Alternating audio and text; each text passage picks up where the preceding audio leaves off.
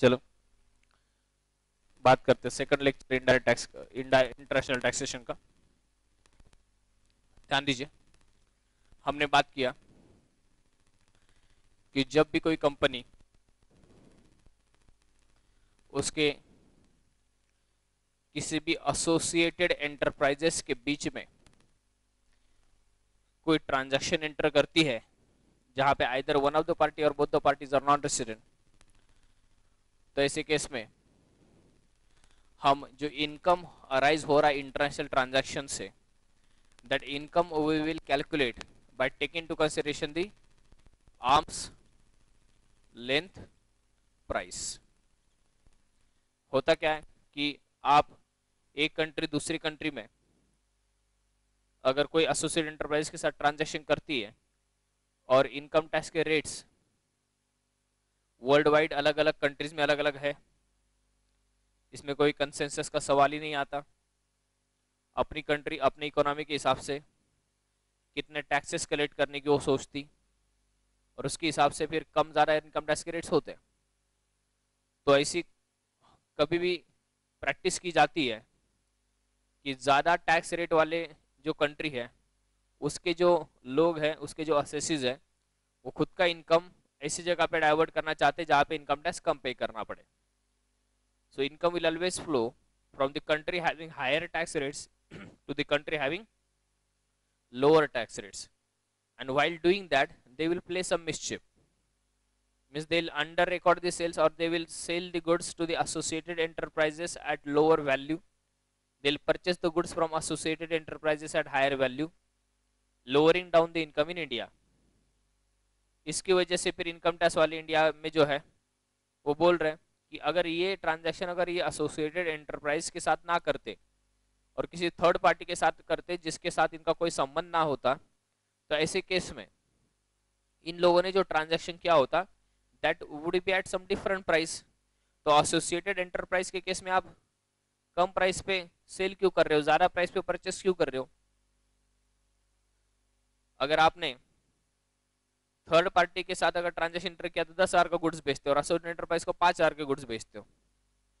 तो that is the clear cut tax evasion तो ऐसे केस में इन सारी चीज़ों को कंट्रोल करने के लिए इन लोगों ने बोला कि नहीं, हम ट्रांजेक्शन जो नॉन एसोसिएटेड एंटरप्राइजेस के साथ हुआ है, उसकी प्राइस को हम आर्म्स लेंथ प्राइस बोलेंगे और उसके हिसाब से वो अगर प्राइस जेन्यून प्राइस होती है और आपने जो एक्चुअल प्राइस चार्ज किया, वो प्राइस अगर अलग है तो फिर जो डिफरेंस है उतना आपने इनकम कम दिखाया तो वो हम लोग इनकम में ऐड करेंगे। इट्स वेरी इंपॉर्टेंट कि आपने ट्रांजेक्शन किस प्राइस पे एंटर किया और उस ट्रांजेक्शन की आर्म्स लेंथ प्राइस क्या थी, वो डिटरमाइन करना। और आर्म्स लेंथ प्राइस डिटरमाइन करने के इनकम टैक्स में अलग अलग मेथड्स है। उसके पहले, उसके बारे में है। Comparable uncontrolled price method that is cup method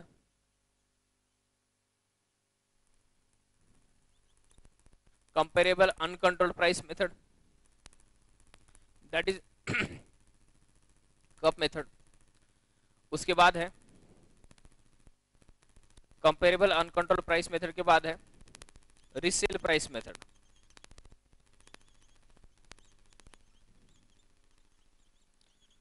and so on other methods will follow ये कब मेथड अपनी हो चुके हैं? हम अनकंट्रोल्ड ट्रांजैक्शन की प्राइस से स्टार्ट करते हैं। और उस अनकंट्रोल्ड ट्रांजैक्शन की प्राइस को, ये कंट्रोल ट्रांजैक्शन के जो फंक्शनल डिफरेंसेस है, उसके हिसाब से एडजस्ट करते हैं। अगर अनकंट्रोल ट्रांजैक्शन अगर विथ वारंटी और ये विदाउट वारंटी है तो ये अनकंट्रोल भी अगर विदाउट वारंटी होता तो क्या होता?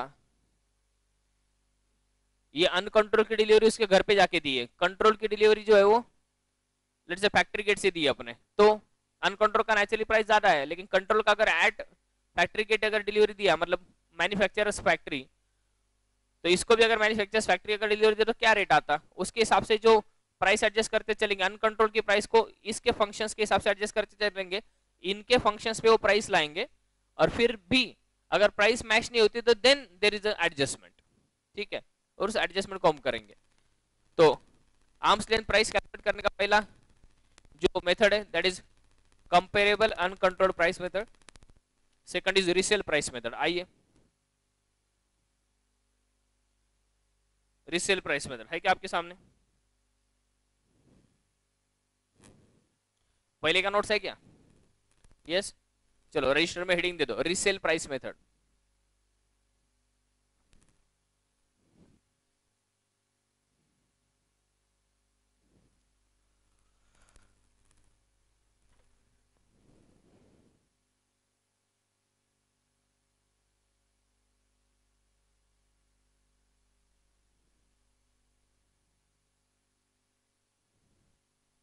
method two. Resale price method ध्यान दीजिए। लॉजिक कुछ इस तरह से।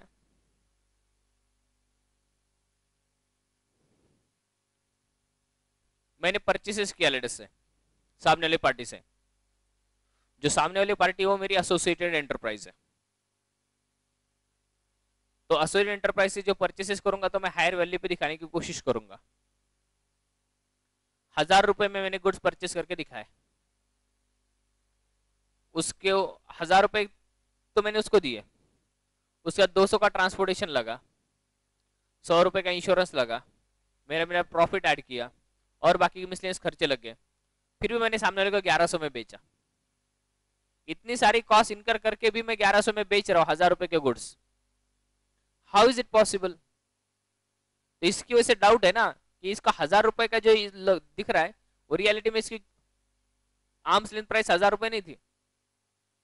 उसकी प्राइस शायद पाँच सौ, छह सौ रुपए होंगी, जिसकी वजह से उसने बाद में ग्यारह सौ में बेचा। नहीं तो अगर हज़ार रुपए अगर उसकी रियल प्राइस होती तो उसने ये सारे खर्चे इनकर करके सत्रह सौ, अठारह सौ में बेचना चाहिए था but if still he is happy in selling this goods at one thousand one hundred means उसने परचेसेस हायर वैल्यू पे अननेसरली दिखाया हुआ है। और जिसको अपने को कम करने का। यस देखिए। Step one resale price method notes में देखने आपको। Price at which the property purchased और services obtain by the enterprise from an associated enterprise are sold to unrelated enterprise is first determine क्या बोला? The price at which property purchased और services obtained by the enterprise from associated enterprise are sold to unrelated enterprise first determined मतलब हमने वो goods जो associate enterprise से लिए थे उसके बाद हमने जो बेचे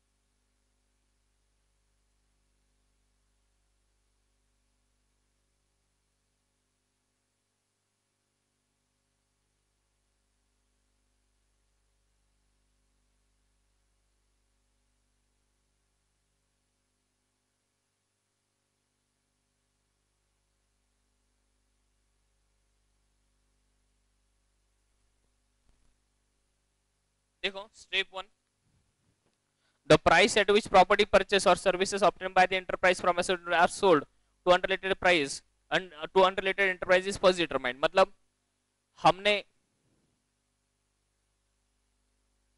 जो सत्रह सौ रुपए को और लेट से ग्यारह सौ रुपए को बेचा राधर सत्रह सौ को तो नहीं बेचा, सत्रह सौ को बेचते थे कोई प्रॉब्लम नहीं था, ग्यारह सौ को जो बेचा तो ग्यारह सौ के प्राइस से स्टार्ट करने का।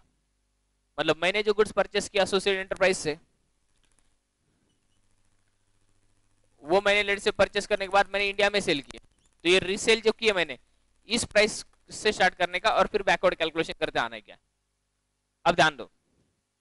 Such resale price is reduced such resale price is reduce by normal gross profit margin accruing to the enterprise from purchase and resale of the similar goods in comparable uncontrolled transaction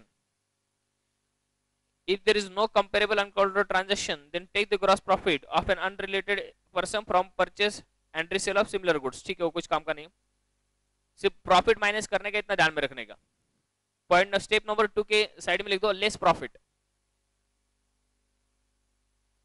step number two के side में लिख दो single word में less profit step number three then reduce the expenses incurred by the enterprise in connection with purchase of the property step number three के side में लिख। दो less other expenses incurred after purchase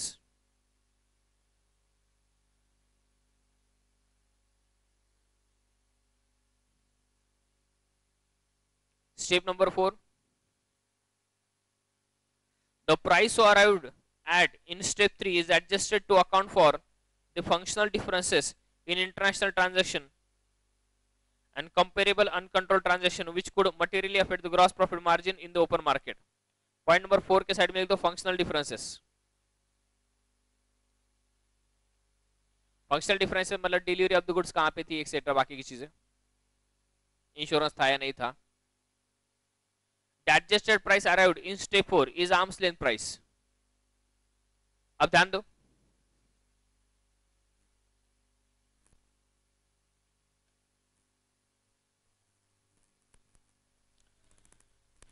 ऐसे समझो X limited USA है। उसने Y limited जो Indian company है, इसको कुछ गुड्स बेचे।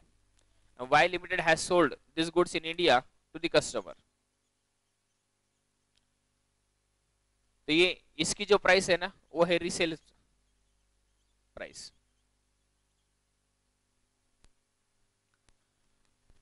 अब ये रीसेल प्राइस जो है, इस रीसेल प्राइस में इसका प्रॉफिट भी है. यस परचेस के बाद के बाकी के एक्सपेंसेस भी है. और कुछ फंक्शनल डिफरेंसेस भी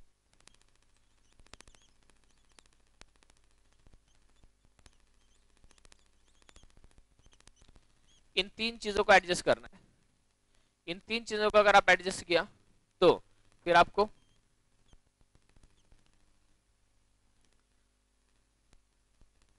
वाई लिमिटेड को रियलिटी में गुड्स कितने रुपीस को आए थे so that he is able to sell it at this price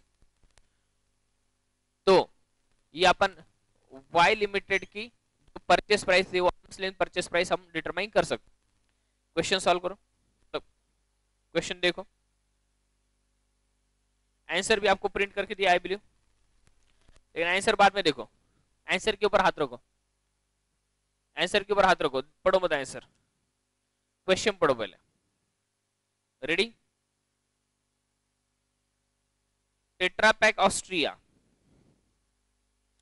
holds 30% shares of Alpha Laval India Limited. तो देखो टेट्रापैक ये ऑस्ट्रेलिया कंपनी है और अल्फ़ा लेवल कौन सी है? इंडियन कंपनी है। पुणे में है क्या अल्फ़ा लेवल? कहाँ पे है? हाँ?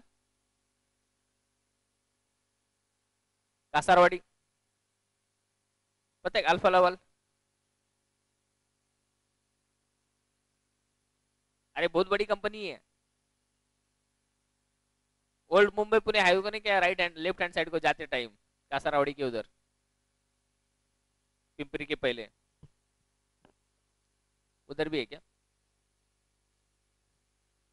मेरे को पता है, क्योंकि हम लोग जाते ना आर्टिकल शिप को ऑडिट को, पिंपरी चिंचवड़ तो उधर दिखती थी लेफ़्ट हैंड साइड को कंपनी हाँ। जिनको नहीं दिख रही हो तो इधर देखो। हाँ। Tetra Pak Austria holds 30 percent shares of Alfa Laval India Limited India अब Alfa Laval India Limited imports Alfa Laval ने हज़ार towel dispensers from Tetra Pak Australia towels नहीं हो टॉवेल डिस्पेंसर्स है। ठीक है? मतलब टॉवेल्स धोने की मशीन वगैरह होगी। एक हज़ार टॉवेल इंपोर्ट किए।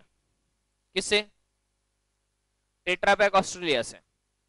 दो हज़ार नौ सौ पे इंपोर्ट किए। And these are sold to Hyatt Regency at a price of तीन हज़ार पर यूनिट देखो यार, दो हज़ार नौ सौ पे हमने परचेस किया और तीन हज़ार को बेच दिया डायरेक्ट सौ रुपए चार्ज किया मैंने। देखो if goods which are purchase for 2900 are being able to sold at 3000 तो शायद गुड 2900 पे परचेस नहीं किए थे, उसमें प्रॉब्लम है। रिसेल प्राइस मेथड ध्यान दो रिसेल प्राइस मेथड कौन से केस में यूज़ होगा? परचेस ट्रांजेक्शन के केस में। क्या बोल रहा हूँ? कंपेरेबल अनकंट्रोल प्राइस मेथड ना, कब? That can be at purchase and sale दोनों ट्रांजेक्शन में यूज़ होता है। कप मेथड अपना पहले का नोट है क्या? पहले दिन का। है क्या? पहला sheet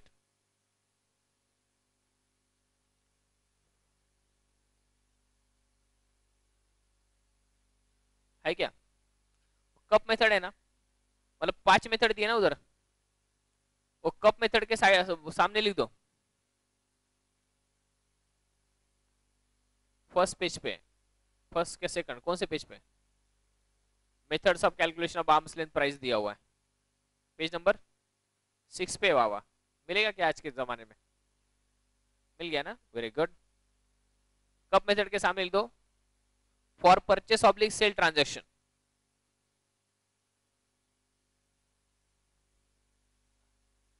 for purchase oblique sale transaction resale price method के सामने लिख दो for purchase transaction for purchase transaction क्योंकि परचेस करके अपन रिसेल करने वाले ना तो परचेस ट्रांजेक्शन के लिए मेथड यूज़ करेंगे। अब आओ, वापस। डायग्राम ड्रॉ करते हैं। आप भी डायग्राम ड्रॉ करो।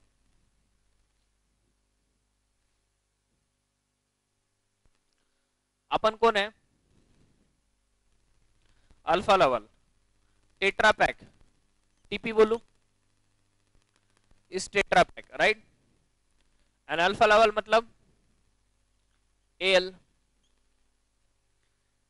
अब ये दोनों क्या है? आई ए अब इसने क्या परचेस किया? Yes one thousand towel dispensers at the rate क्या?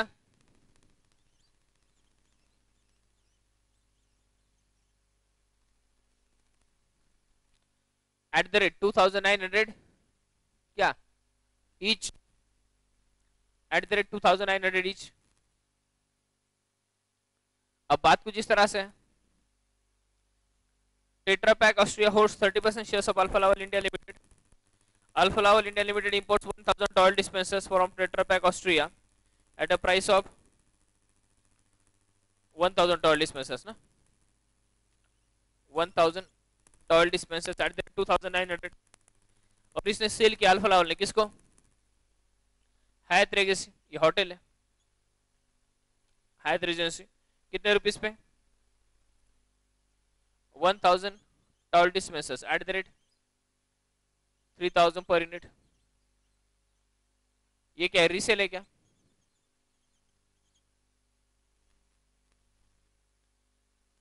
ऐसे क्वेश्चन में कभी डायग्राम बनाए तो that is always better Alfa Laval India Limited has similar products from Industries and to Taj Palace. अब ध्यान दो। एक अल्टीमेट इंडस्ट्रीज़ करके एक दूसरी कंपनी है।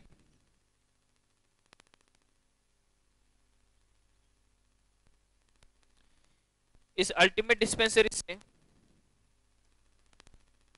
अल्फ़ा लेवल लिमिटेड ने सिमिलर टॉयल डिस्पेंसर्स का ऑर्डर किया है और उसको किसको बेचा? अल्फ़ा लेवल ने आगे।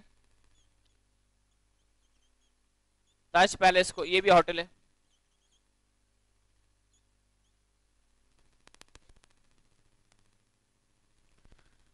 At a gross profit of twenty twelve percent on sales profit कितना है? Twelve percent on sales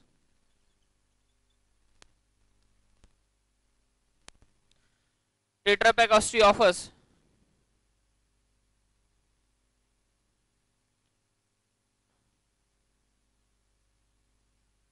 Tetra Pak Austria offers a quantity discount of 10 per unit.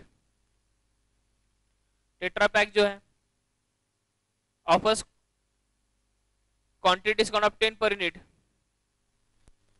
whereas Ultimate Industries Limited does not offer such quantity discount. ये Tetra Pak ने discount दिया हुआ है कितना quantity discount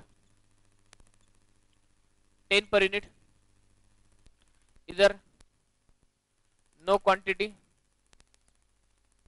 discount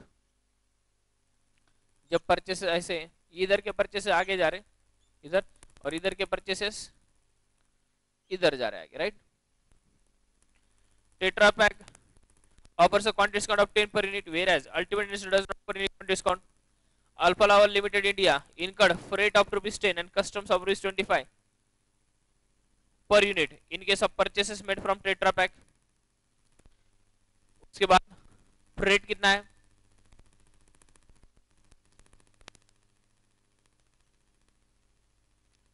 ten and custom duty कितना है?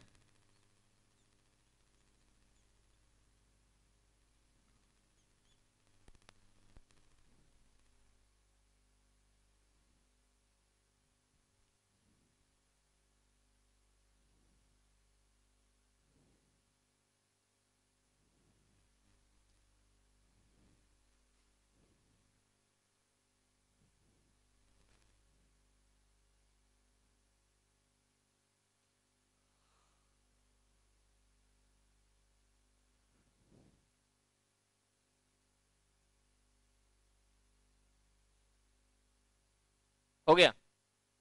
Answer देखो माता। मज़ा चला जाएगा पूरा। क्योंकि कुछ लोग आए ना आए तो उनको आंसर के साथ दे दिया था उससे। मतलब घर पे अगर पढ़ने का रहेगा तो। लेकिन तुम लोग आए। तुमने बुलाया तो हम भी चले आए आज। इतने खुन्नस मत दे यार। अरे। काय संबंध कशाला खुन्नस देता? पुणेकर मराठवाड्यातल्या लोकांना खुन्नस देत. इतर दुष्काळ पडला आमच्या इकडे आज.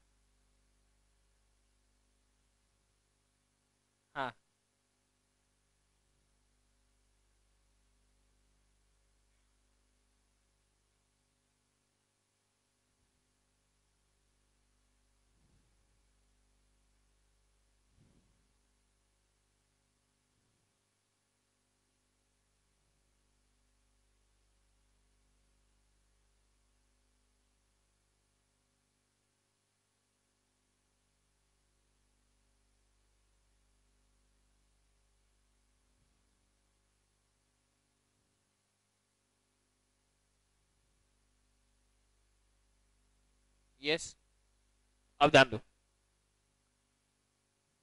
ये लोग क्या बोले? आपको resale price resale sale price से स्टार्ट करने का। प्रॉफिट लेते टाइम अगर आपको इस ट्रांजेक्शन का अगर प्रॉफिट दिया है तो वो ले लो। नहीं तो सिमिलर ट्रांजेक्शन का अगर प्रॉफिट दिया है तो वो ले लो।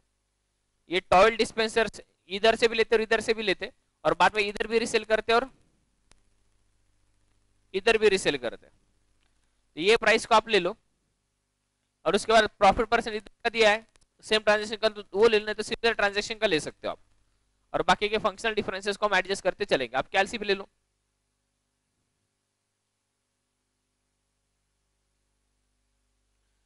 थ्री थाउज़ेंड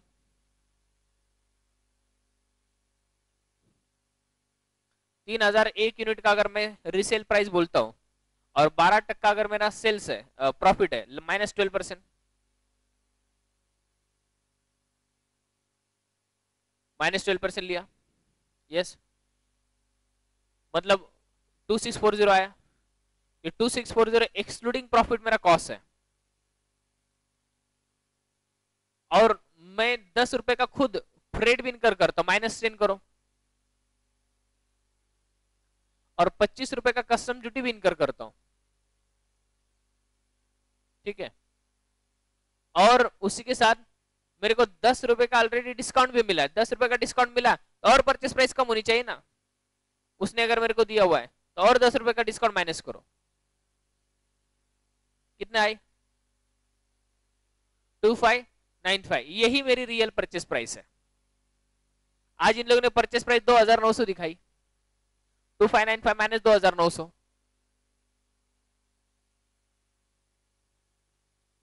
तीन सौ पाँच रुपए एक पर एक यूनिट को इन लोगों ने हायर वैल्यू पे देखा। मल्टीप्लाइड बाय एक हज़ार टॉयल डिस्पेंसर्स तो कितने से इनकम बढ़ना चाहिए? थ्री लाख फाइव थाउज़ेंड से। बराबर क्या? वापस सोचो। मेरा थिंकिंग देखो किस तरह से चैनलाइज हो रहा है। मैं अगर किसी कस्टमर को कुछ परचेस गुड्स एक पर्टिकुलर प्राइस पे अगर बेचता हूँ इंक्लूडिंग प्रॉफिट यार उस गुड्स की मेरे लिए परचेस प्राइस क्या होगी ना? गुड्स की मेरे लिए परचेस प्राइस क्या होगी? मैंने प्रॉफिट माइनस कर लिया। और ये इतने प्राइस पे बेचा मैंने फ्रेट वगैरह ये सब कुछ मैंने सेपरेटली इनकर किया हुआ है।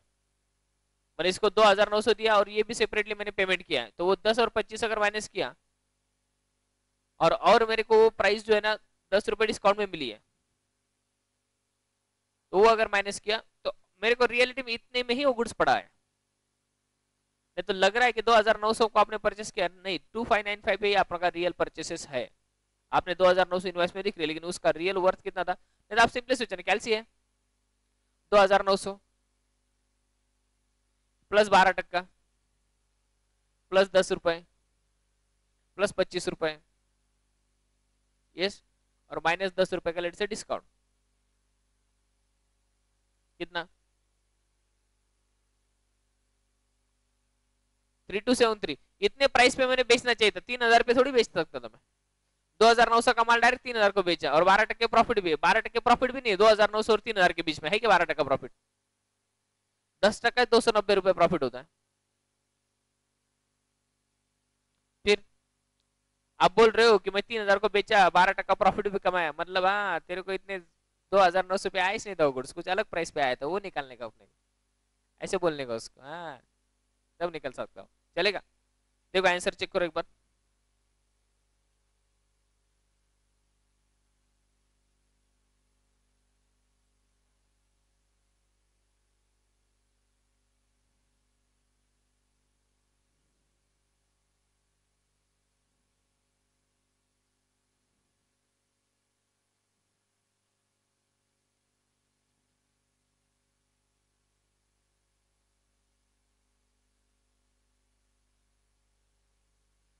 हो गया क्या?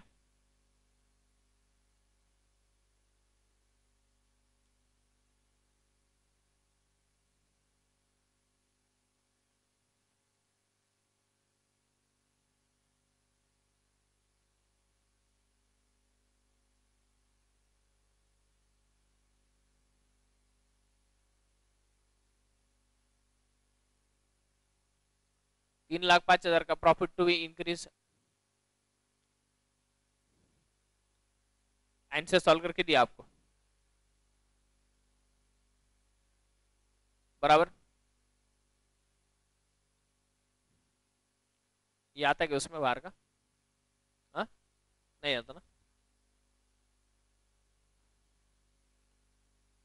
रिसेल प्राइस के बाद ले लो cost plus method method number four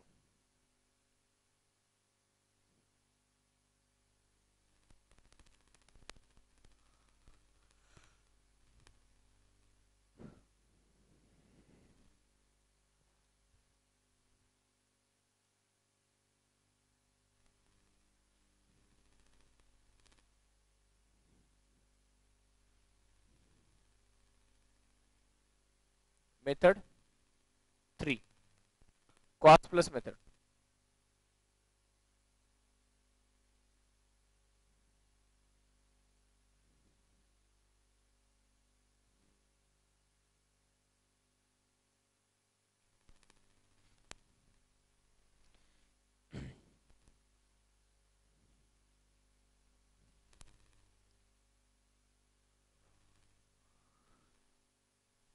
उधर लिख दो। उन्हें क्या? पाँच मेथड दिए थे। फ़र्स्ट, जो पहला नोट्स दिया था, उसमें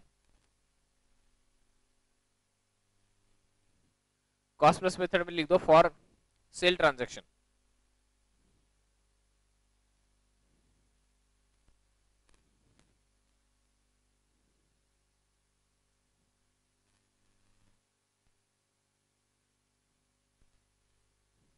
For what? Sale transaction. अब ध्यान दो।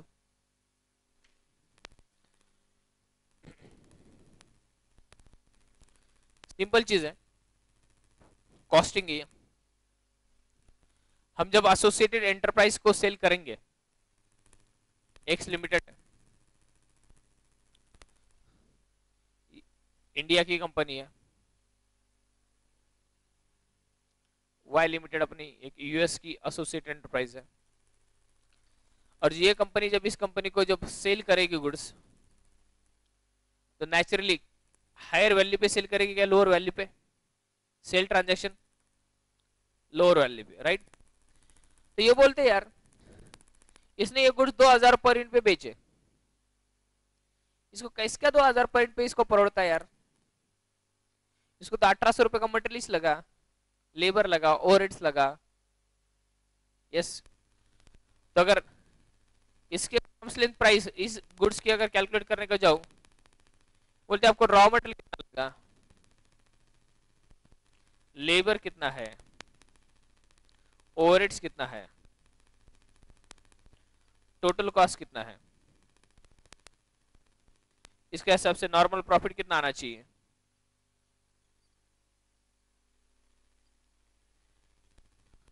और फिर उसकी सेलिंग प्राइस आना चाहिए ना। और लेट से वो सेलिंग प्राइस से आपकी तीन हज़ार दो सौ आना चाहिए, लेकिन आपने दो हज़ार रुपए बेचा। तेरी कॉस्ट के बेसिस पे अगर चली जाए nobody will it is normal common sense चीज़ है। नो बडी शैल सेल और nobody will sell at a price below the cost of production आप कॉस्ट ऑफ़ प्रोडक्शन से कम प्राइस पे कभी बेचोगे क्या?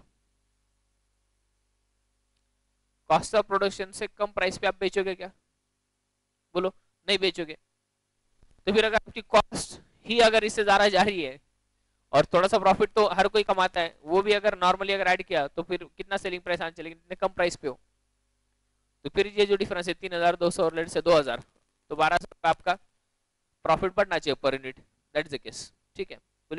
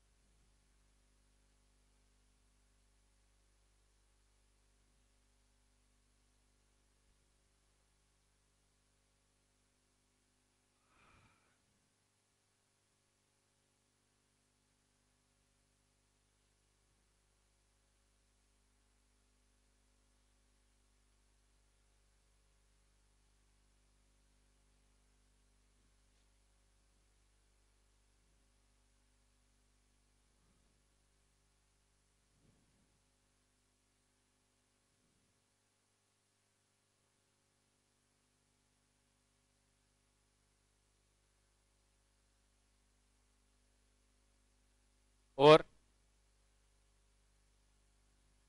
आइए।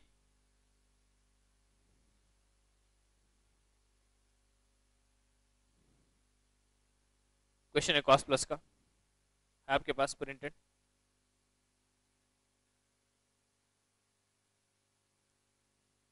अच्छी तरह से रीड करना पड़ेगा अभी।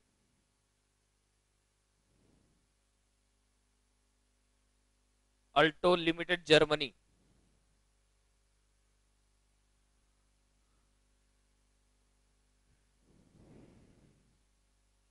Holds 35% shares in Beta Limited India अपनी कौन सी कंपनी है? अपनी कंपनी कौन सी? बीटा लिमिटेड है.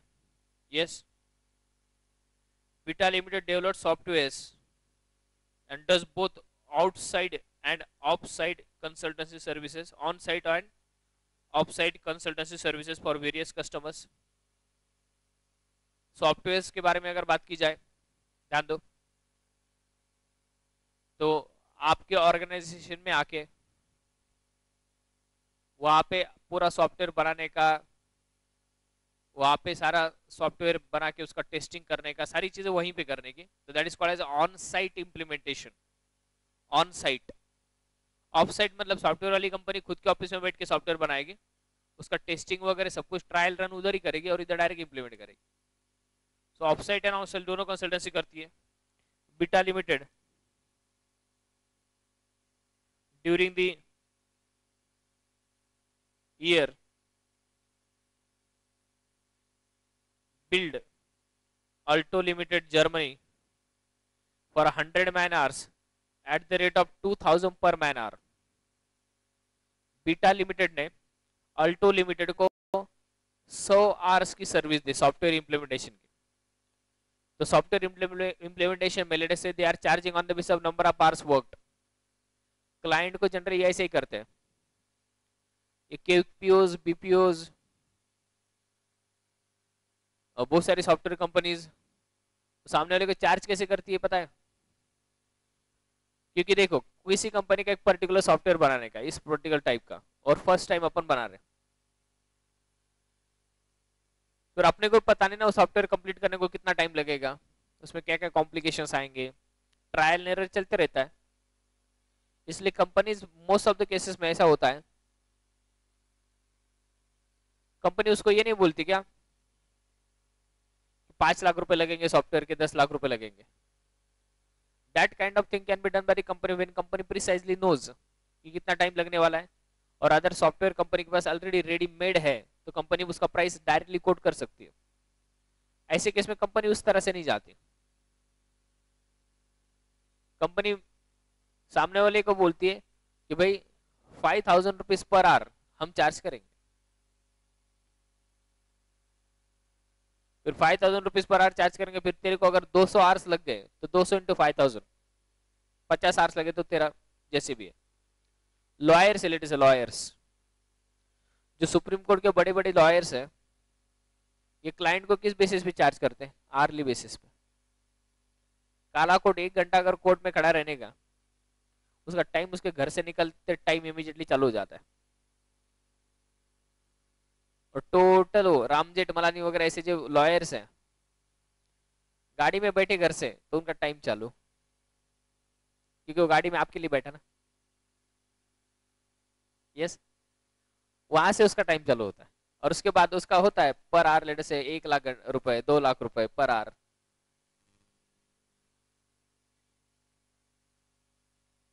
तो उसके हिसाब से फिर वो घर पे वापस लाके कितने घंटे में छोड़ा? साढ़े तीन घंटे में छोड़ा तो साढ़े तीन लाख रुपए लेते हो।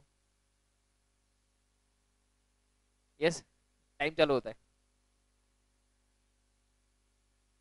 तो वो ये नहीं बोलता, ये case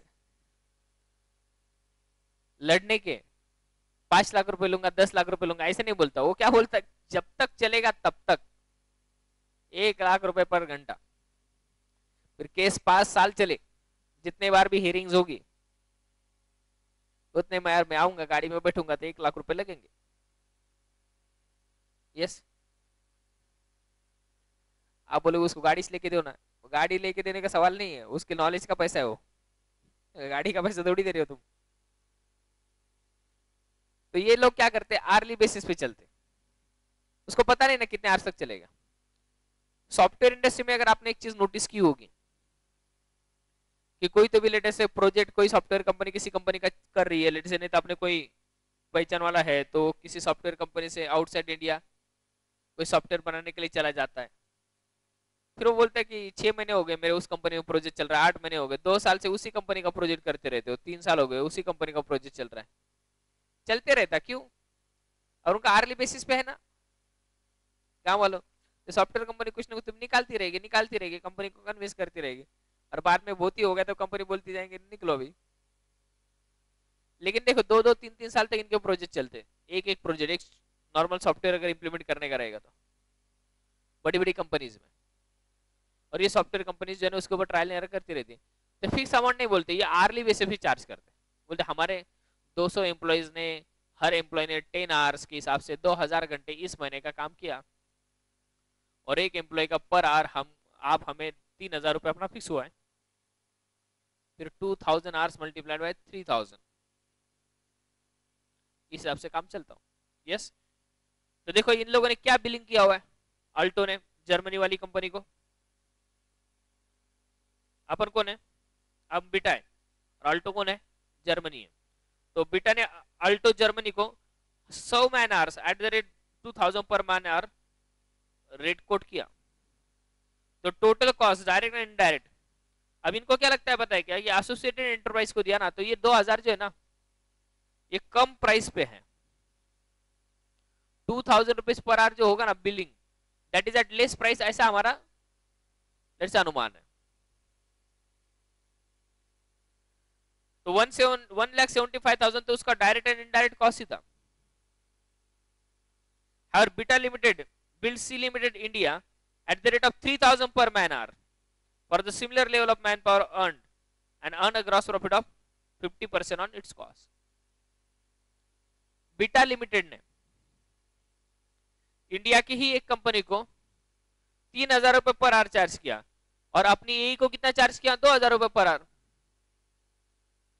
that is apparent now similar work के लिए कि जो एई को जो प्राइस कोट की है दैट इज़ क्या है? That is that is under priced right तो तीन हज़ार रुपए पर मैन आर कोट की है और उसमें प्रॉफिट पचास टका कमाता है। मतलब पचास टका जनरल प्रॉफिट ये कमाती है। The transaction of beta limited with alto limited and c limited are comparable subject to the following differences. Beta ने अल्टो लिमिटेड को और सी लिमिटेड को जो सेल किया है that is subject to following differences While Beta Limited derives technology support from Alto Limited, there is no such support from C Limited.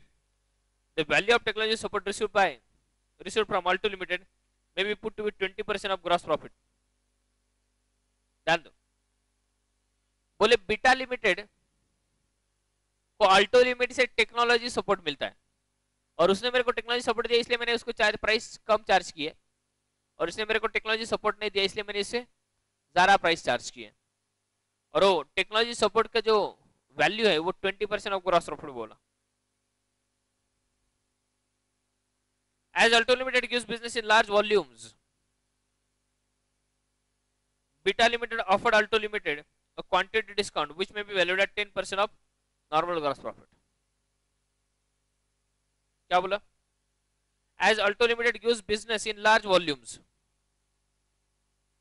as Alto Limited gives business in large volumes, Beta Limited offered to Alto Limited a quantity discount which may be valued at 10% of normal gross profit. Alto Limited ज़्यादा अपने को business देती है इसकी वजह से Alto limited को अपने डिस्काउंट दिया और डिस्काउंट का जो value ten percent of the gross profit है लेकिन ये सी लिमिटेड अपने को कोई ज़्यादा से ज़्यादा बिज़नेस नहीं देती, इसलिए अपने उसको ज़्यादा प्राइस चार्ज किया, उसको कोई डिस्काउंट नहीं दिया। In the case of rendering services to Alto Limited Beta Limited neither run any risk nor incurs any marketing cost Alto Limited को अपन ने जब सर्विसेज़ दिया तो अल्टो लिमिटेड के लिए कुछ रिस्क भी नहीं है। जनरली रिस्क ज़्यादा होता है तो लोग ज़्यादा प्राइस चार्ज करते हैं। और मार्केटिंग कॉस्ट लगता है बाकी कंपनीज़ के लिए, लेकिन अल्टो लिमिटेड अपनी कंपनी एलईडी से उसके लिए मार्केटिंग कॉस्ट नहीं लगता। इसलिए इट इज़ क्वाइट पॉसिबल इधर भी मार्केटिंग कॉस्ट नहीं लगता तो इधर भी मैं कम प्राइस पे सेल कर सकता था। इधर भी लेट से रिस्क ना होता तो इसको भी कम प्राइस पे सेल कर सकता था। On the other hand in case of the C Limited Beta Limited has assumed all the risk and cost associated with the marketing function which may be estimated 10% of normal gross profit Beta Limited offered one month credit to Alto Limited Beta Limited Alto Limited को एक महीने का credit देती है। और फिर भी कम प्राइस पे गुड सेल करती है। क्रेडिट देके भी। उल्टा क्रेडिट दिया तो ज़्यादा प्राइस लगना चाहिए ना, लेकिन क्रेडिट देके भी कम price the cost of providing such credit may be valued at three percent of normal gross profit no such credit is given to C Limited अब ध्यान दो। अब नीचे वाला आंसर मत देखो। और सोचो आंसर बंद करो। फोल्ड करो पेज तुम लोग चकने लोग हो ना तो तुम लोगों को दिखेगा जो। यस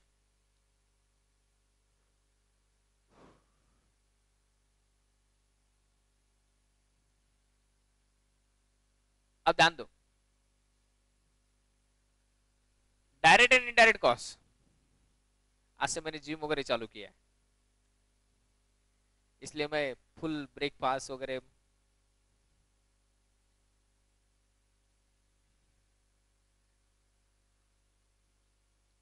दो ढाई घंटे तक इधर उधर घूम रहे थे हम लोग। इसलिए फुल खाना खा तो नींद आ रही मेरे को। हाँ। पंडित ध्यान दे बेटा। डायरेक्ट एंड इनडायरेक्ट कॉस्ट कितनी है? एक लाख पचहत्तर हज़ार। यस ये आपकी टोटल कॉस्ट है। और इसमें प्रॉफिट ऐड करने का है। लेकिन प्रॉफिट का परसेंटेज नॉर्मली फिफ्टी परसेंट है। अब रुको। लेकिन 50 परसेंट ऐड नहीं करने क्योंकि there are so many differences which have been given below अब आप सो, सिंपली सोचो ये अपन कौन है? बीटा और अपन ने किसको सेल किया है? अल्टो। और सी लिमिटेड से अपन कितना परसेंट प्रॉफिट जनरली कमाते हैं? सिमिलर लेवल में profit of 50 percent C Limited से हम 50 परसेंट प्रॉफिट कमाते हैं। तो सी लिमिटेड से जो 50 परसेंट प्रॉफिट कमाते हैं, वो 50 परसेंट प्रॉफिट ऐड मत करो डायरेक्ट ये 50 परसेंट प्रॉफिट जो है ना, ये इसके जो फंक्शनल डिफरेंसेस है अगर उसी फंक्शनल डिफरेंसेस पे अगर सी लिमिटेड को अगर हमने सेल किया होता तो फिर प्रॉफिट का परसेंटेज इतना शायद हायर नहीं होता तो कुछ लोअर होता तो वो प्रॉफिट परसेंटेज पे अपने को जाने के कैलसी ले लो। और ज़रूरत नहीं ध्यान दो। Point number one. While Beta Limited derives technology support from Alto Limited, ये टेक्नोलॉजी देती है। ये देती है क्या? तो ये अगर टेक्नोलॉजी नहीं देती तो नेचुरली इससे ज़्यादा प्रॉफिट लेंगे ना तो आपको ये प्रॉफिट इसके फंक्शनल डिफरेंसेस पे लेके आने का। और इन लोगों ने बोला, ये टेक्नोलॉजी सपोर्ट का जो वैल्यू है, वो twenty percent of normal gross profit है। पचास टक्के का ट्वेंटी परसेंट पचास इंटू ट्वेंटी परसेंट बोलो।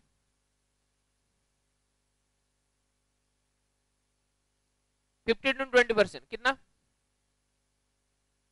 टेन यस टेन परसेंट तो इनडायरेक्टली इसको आपने जो चार्ज किया वो टेन परसेंट प्रॉफिट ज़्यादा चार्ज किया है। अब ये टेक्नोलॉजी सपोर्ट दे रहा है तो टेक्नोलॉजी सपोर्ट देके भी इसको ज़्यादा चार्ज नहीं करना पड़ेगा ना, कम ही चार्ज करना पड़ेगा। अगर ये भी टेक्नोलॉजी सपोर्ट अगर देता तो इसको भी कम चार्ज करते थे। तो ये प्रॉफिट हायर है तो इसको, इसके फंक्शनल फ़ंक्शंस पे लेके आओ। इसके फ़ंक्शन में टेक्नोलॉजी सपोर्ट है टेक्नोलॉजी सपोर्ट है तो थोड़ा सा आपका टेन परसेंट हम कम करेंगे। टेन परसेंट कैसे? Twenty percent of gross profit fifty का ट्वेंटी परसेंट इज़ टेन उसके बाद नंबर टू ये आपको जो बहुत ज़्यादा क्वांटिटी में बिज़नेस देता ये नहीं देता। अगर ये ज़्यादा क्वांटिटी देते इसको, ये ए ना होता ये ना होता तो भी हम इसको प्राइस कम ही चार्ज करते अब ये ज़्यादा बिज़नेस नहीं देता आपको तो इन लोगों ने बोला कि ये जो क्वांटिटी डिस्काउंट का वैल्यू जो टेन परसेंट है नॉर्मल ग्रॉस प्रॉफिट के तो नॉर्मल ग्रॉस प्रॉफिट कितना आपका? फिफ्टी परसेंट फिफ्टी परसेंट का टेन परसेंट मतलब फाइव परसेंट तो इसने ज़्यादा बिज़नेस नहीं दिया आपने, इसलिए इसको फाइव परसेंट प्रॉफिट ज़्यादा है। इससे फाइव परसेंट प्रॉफिट कम लिया तो भी चलेगा। That is not not a problem उसके बाद in case of rendering services to Alto Limited Beta Limited neither run any risk इधर रिस्क नहीं, इधर रिस्क है। अगर ये भी, जैसे इधर रिस्क नहीं, अगर इसको भी रिस्क ना होता तो नॉर्मल बिज़नेस चीज़ है। अगर जिस पार्टी से रिस्क नहीं होता, उसको अपन कम प्राइस चार्ज करते तो इन लोगों ने बोला कि रिस्क का जो प्रॉफिट परसेंटेज है वो ten percent of normal gross profit मतलब फिफ्टी का टेन परसेंट मतलब फाइव परसेंट तो फाइव परसेंट हमने ज़्यादा चार्ज किया, जो इधर नहीं चाहिए, बराबर है।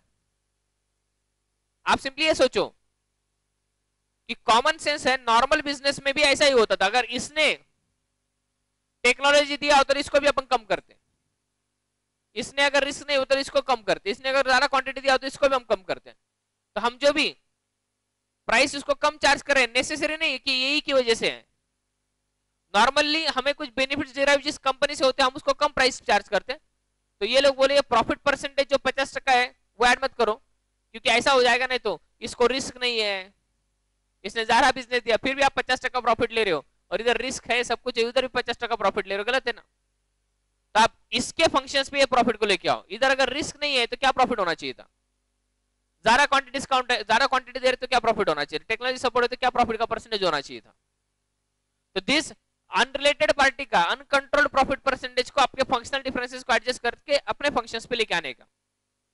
और उसके बाद Beta Limited offered one month credit to Ultra Limited इसको एक महीने का क्रेडिट है। लेकिन इधर क्रेडिट नहीं है। अगर क्रेडिट नहीं है, ध्यान दो तो प्राइस किधर ज़्यादा चार्ज चाहिए? इधर क्रेडिट है, इधर क्रेडिट नहीं है। क्रेडिट है वाले को ज़्यादा कि क्रेडिट नहीं है वाले को ज़्यादा, है वाले को ज़्यादा राइट तो ये प्राइस क्या है? कम होगी क्या ज़्यादा? क्रेडिट नहीं इसको तो ये कम होगी। इसको क्रेडिट है तो ये क्या चाहिए? ज़्यादा चाहिए।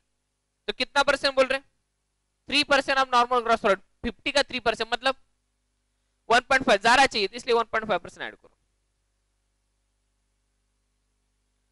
अब ये ट्वेंटी माइनस किया आपने? मतलब हो गया thirty plus one point five मतलब ये आपका रियल ग्रॉस प्रॉफिट चाहिए। फिर 175 प्लस 31.5 परसेंट ले लो। कितना होना चाहिए arm's length price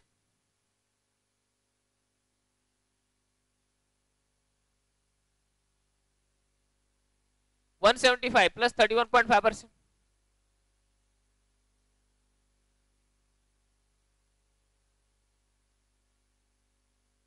Two three zero ये होना चाहिए था और कितने को बेचा मैंने रियलिटी में?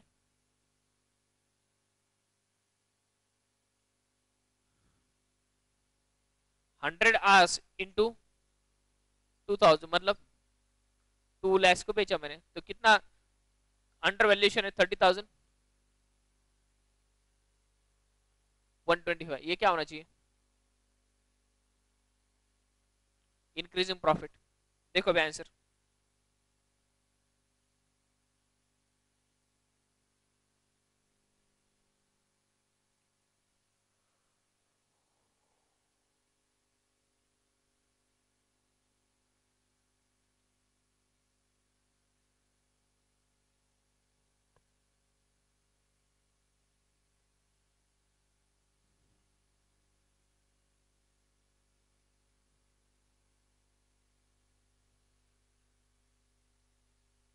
हो गया क्या? वैसे मत देखो। अब देखो किस तरह से कैलकुलेशन किया हुआ है। साइड में लिख दो। Profit percentage of uncontrolled transaction profit percentage of an uncontrolled transaction is to be adjusted. Is to be adjusted.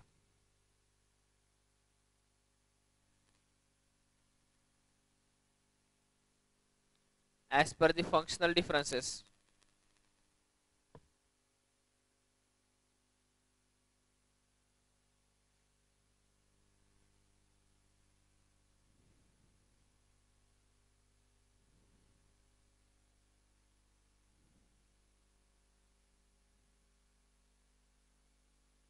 is to be adjusted as per the what?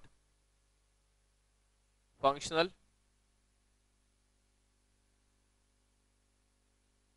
is to be adjusted as per the functional differences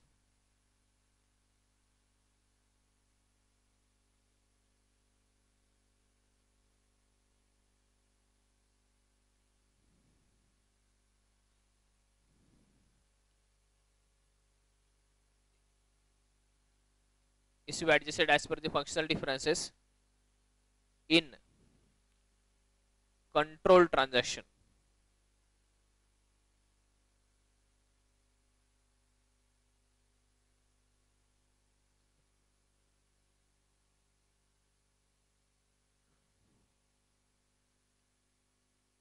yes module है क्या आपके पास CW का वगैरह है क्या किसी के पास एक दो क्वेश्चन उसमें भी दिए हुए हैं। ज़्यादा नहीं, दो ही क्वेश्चन दिए शायद। है क्या? घर पे है क्या? गुड पुसला का त्याला कधी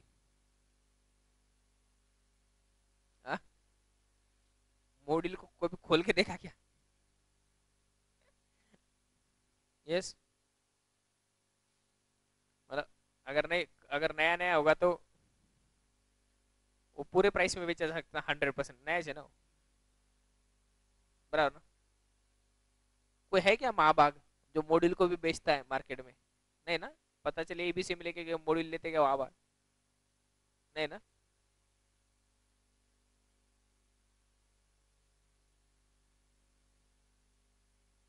शुरू शुरू में एबीसी में लोगों को रिसेल वालों को पता नहीं रहता कौन से बुक बेच रहे थे, वो ले लेते थे।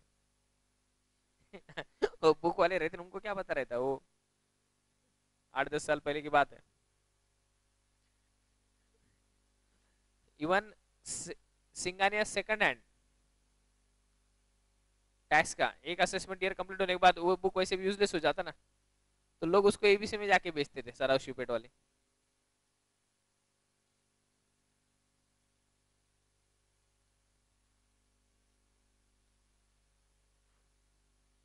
नहीं कस्बा पेट वाले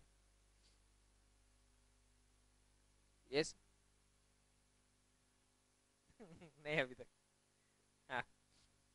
चाय की दुकान चल रही है तुम्हारी? हाँ। चाय की दुकान चल रही है ना? Very good thirty Swargate bus stand. Good thirty thousand one twenty five. याद किया क्या राइट right? ले लो, एक क्वेश्चन ले लो।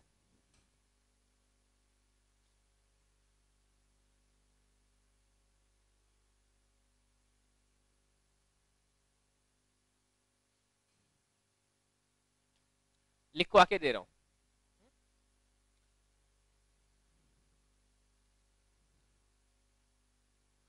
ABC Limited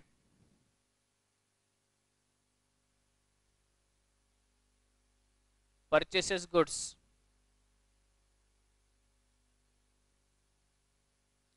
from P Limited of Pakistan from P Limited of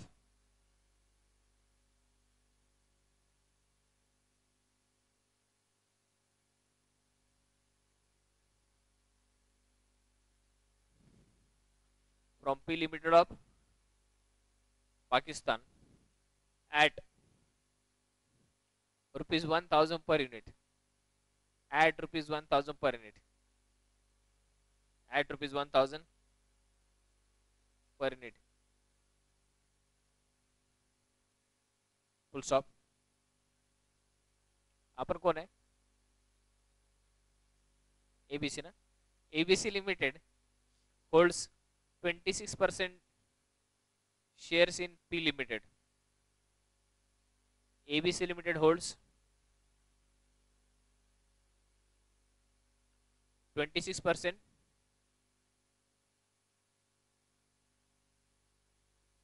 shares in P Limited. Full stop.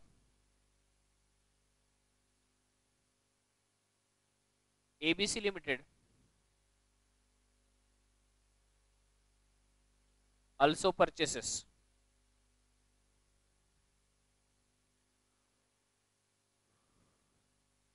Similar goods. from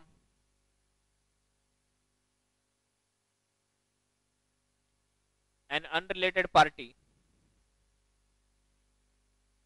from an unrelated party q limited.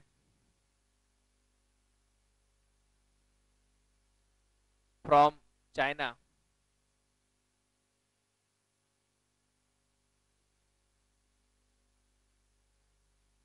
At rupees 1200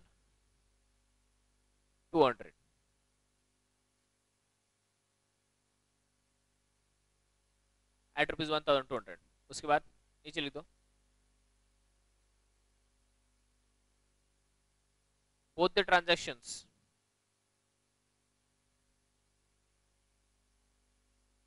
Are comparable.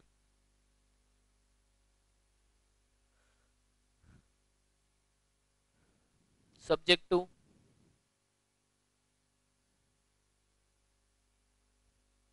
both the transactions are comparable subject to following functional differences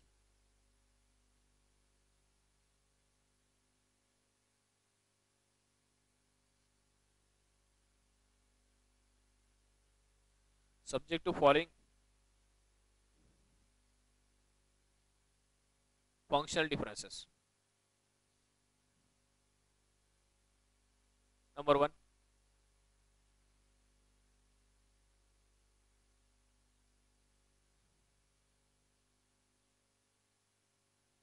delivery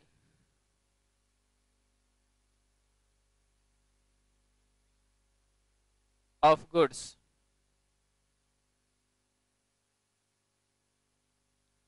from Pakistan.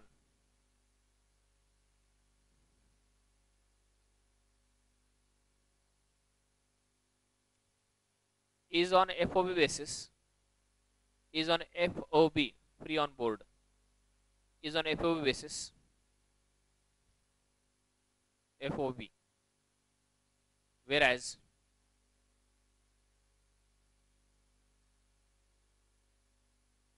purchases from China are on CIF basis.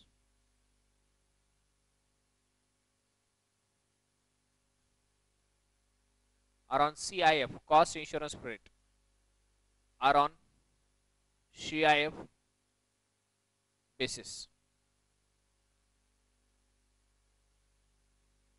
उसी में लिख दो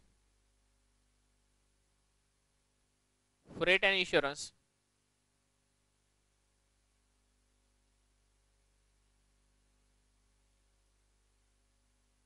cost can be taken as rupees 300 freight and insurance cost can be taken as rupees 300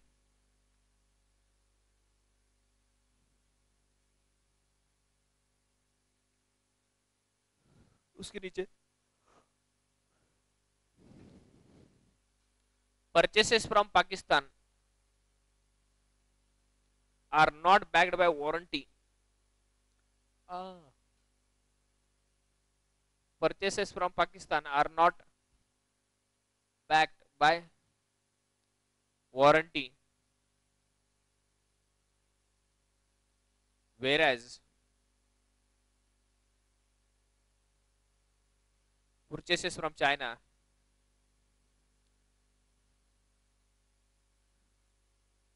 are backed by warranty.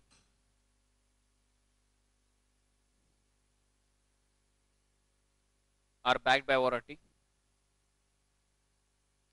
उसके नीचे लिख दो, उसी line में। Cost of warranty may be taken as rupees hundred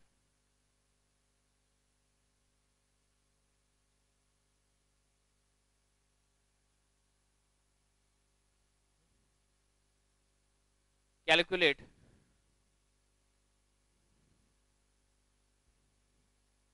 the amount of adjustment to be made.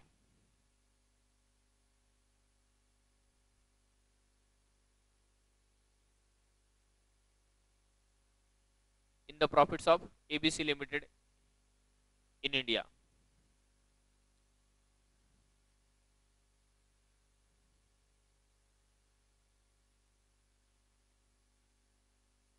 Amount of adjustment to be made in the profits of one.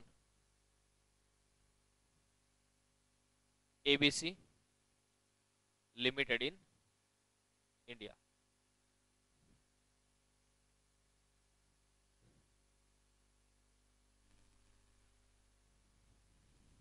Using CUP method ऐसे बोलो using CUP method cup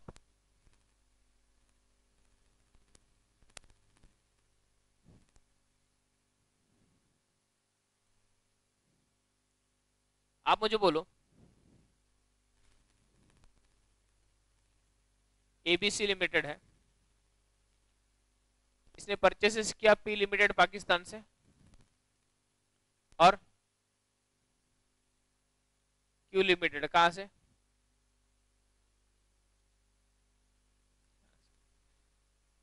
इसने जो sale किया rupees purchase कितने से one thousand per unit ना। और इधर रुपीज़ पर बराबर ना।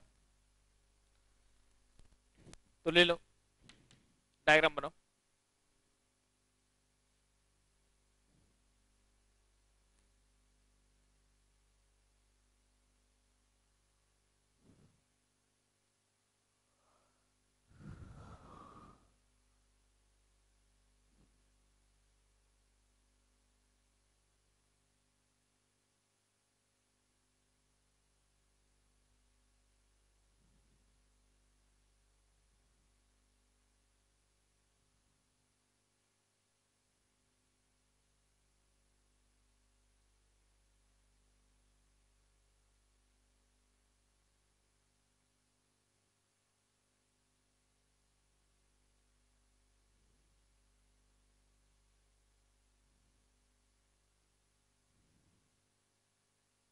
हो गया। अब ध्यान दो। कहाँ से स्टार्ट करने का? अनकंट्रोल ट्रांजेक्शन के प्राइस से और इसके फंक्शनल डिफरेंसेस पे लेके आने का, ले लो। Price charge in an uncontrolled transaction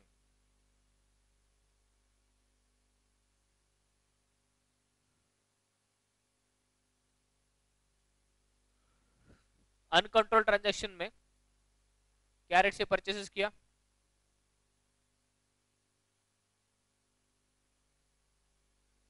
One thousand two hundred price charge in uncontrolled transaction is one thousand two hundred उसके नीचे लिख दो। अब मुझे बोलो, रुको। ये क्या है? डिलीवरी कहाँ पे? पाकिस्तान पे। ये क्या है? इंडिया में लाके दे रहा है डिलीवरी तो cost of insurance and freight जो इसने चार्ज किया, इसलिए इसका ज़्यादा है। इसने इंश्योरेंस एंड फ्रेट चार्ज नहीं किया। बराबर ना? तो अगर ये प्राइस अगर इसके ही, अगर बेसिस पे होती मतलब जैसे डिलीवरी अगर आपको उधर से मिली होती तो सिमिलर डिस्टेंस ऐसे समझ लो एडजस्टिंग कंट्रीज़ है तो जनरली सिमिलर ट्रांसपोर्टेशन लगता है, ऐसे समझ लो। अगर ये भी अगर उसके जैसा ही उधर ही देती एफओ बेसिस पे तो प्राइस 1200 का और कम होना चाहिए था ना? Yes less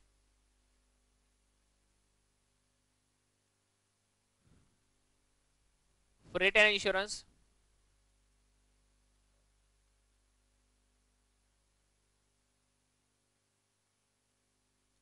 not charge in case of purchases from Pakistan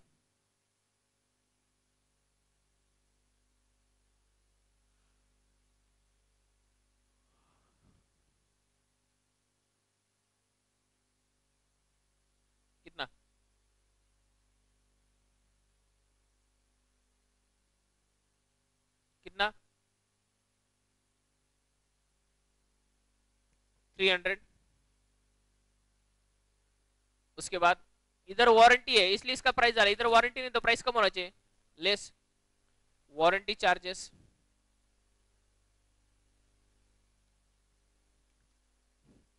hundred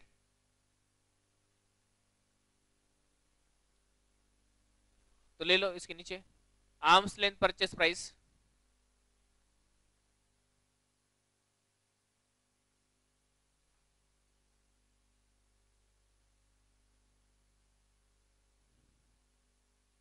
कितने arm's length purchase price yes आठ सौ है क्या? और एक्चुअल परचेस प्राइस कितनी है? Actual purchase price one thousand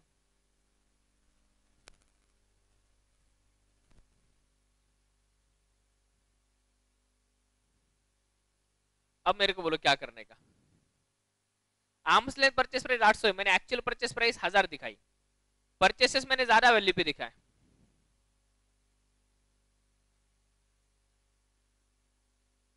arms length purchase price कितनी है? 800 तो मैंने 800 अगर दिखा तो प्रॉफिट बढ़ेगा ना मेरा। और इन लोगों ने कितने भी दिखाया? हज़ार पे दिखाया। ज़्यादा वैल्यू पे दिखाया ना। तेरे को ये सब कुछ नहीं मिल रहा, फिर भी हज़ार को परचेस कर रहा है। ले लो। Increasing profit is equal to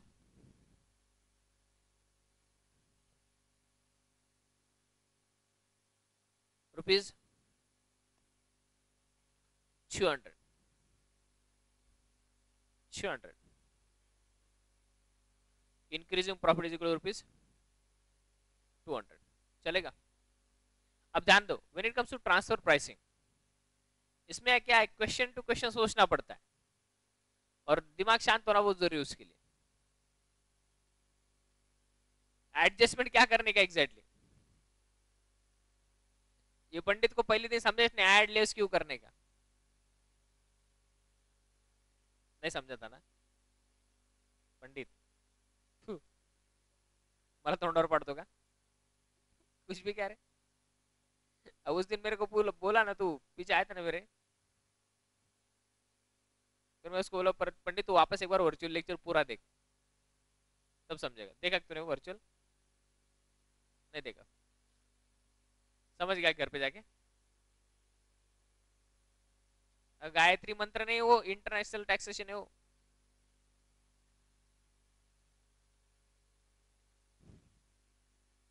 yes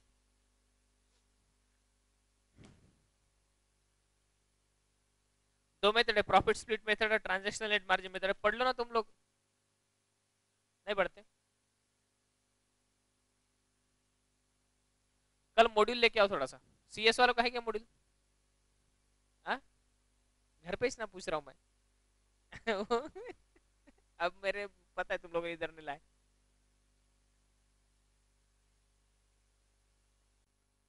चलो गाँव वालों।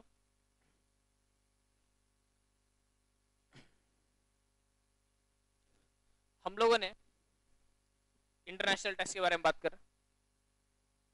आर्म्स लेंथ प्राइस डिटरमाइन करने की तीन मेथड कंप्लीट कर ली है। मतलब CUP method comparable uncontrolled price method number two resale price method number three cost plus method ticket number four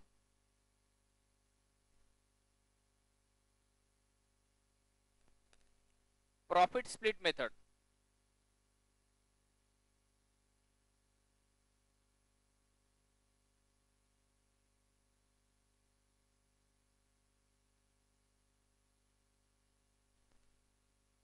number four is profit split method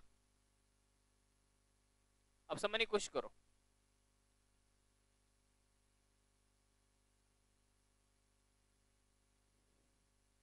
आप समझो, आप चार फ्रेंड्स मिलके दिवाली के सीज़न में आपने क्रैकर्स का बिज़नेस किया, फटाका। पंद्रह दिन बिज़नेस चला। और उसके बाद उस बिज़नेस से जो प्रॉफिट आया, वो चार फ्रेंड्स जो है ना, वो शेयर कर रहे हैं। वो चार फ्रेंड्स शेयर कर रहे तो उसका शेयर करने का बेसिस जो है वो कुछ इस तरह से हो सकता है कि हर एक फ्रेंड ने किस तरह से कंट्रीब्यूशन किया उसके बेसिस पे वो प्रॉफिट भी शेयर होना चाहिए। लेट से क्रैकर्स लाने में किसी फ्रेंड ने 80 परसेंट खुद का पैसा डाला था। किसी फ्रेंड ने मैनेजमेंट खुद की रखी थी। कोई लोग हेल्प कर रहे थे। तो उसका रिलेटिव कंट्रीब्यूशन जो है, उसके हिसाब से वो प्रॉफिट स्प्लिट होना चाहिए ना चार फ्रेंड्स के बीच में।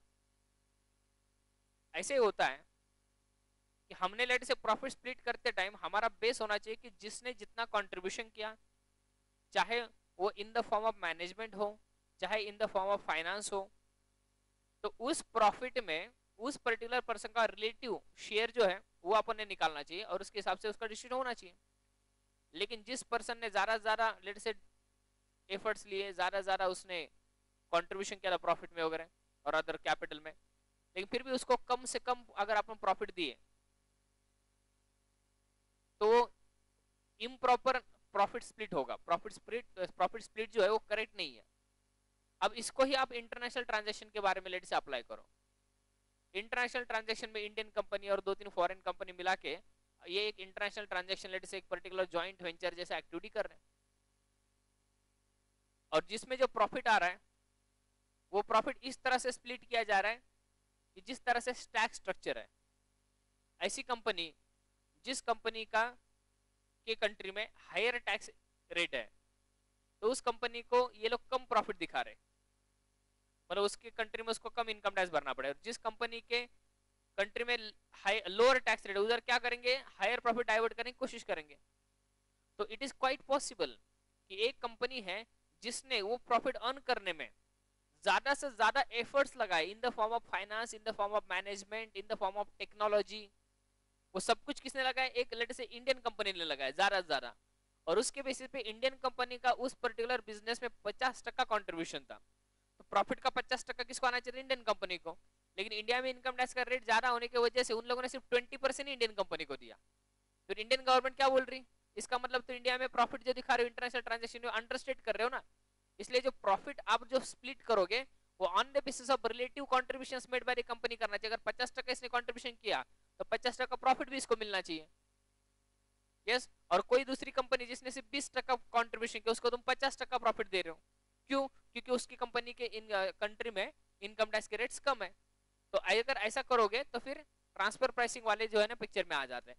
ये बोल रहे हैं कि on the basis of the relative contribution in the form of technology in the form of finance, in the form of management done by the companies, their profit shall be splitted. उसको उतना profit मिलना चाहिए। और अगर वो अगर in the form of contribution अगर let's say मेरे को 2000 करोड़ का प्रॉफिट आना चाहिए था और मेरे को 500 करोड़ का प्रॉफिट दिया तो डेढ़ हज़ार करोड़ से मेरा प्रॉफिट ये ट्रांसफ़र प्राइसिंग प्रोविज़न अप्लाई करके इंक्रीज कर देंगे। ठीक है? So that is profits shall be splitted according to the relative, uh, uh, let us say relative contributions made by each company. So लिख दो profit split method separately cost plus method हो गया ना कल? रजिस्टर में लिखना है notes पे नहीं है। Profit split method profit split method और उसके नीचे लिख दो। Profit arising from an international transaction between the associated enterprise profit arising in an international transaction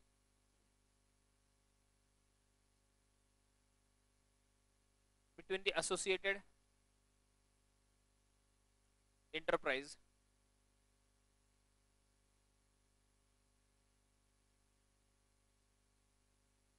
Shall be splitted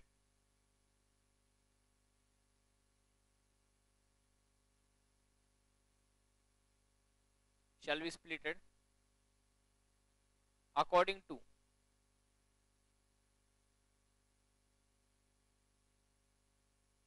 According to the relevant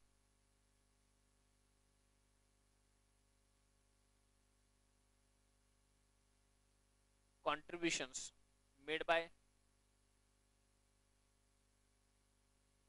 made by each company in earning such profit made by each company in earning such profit.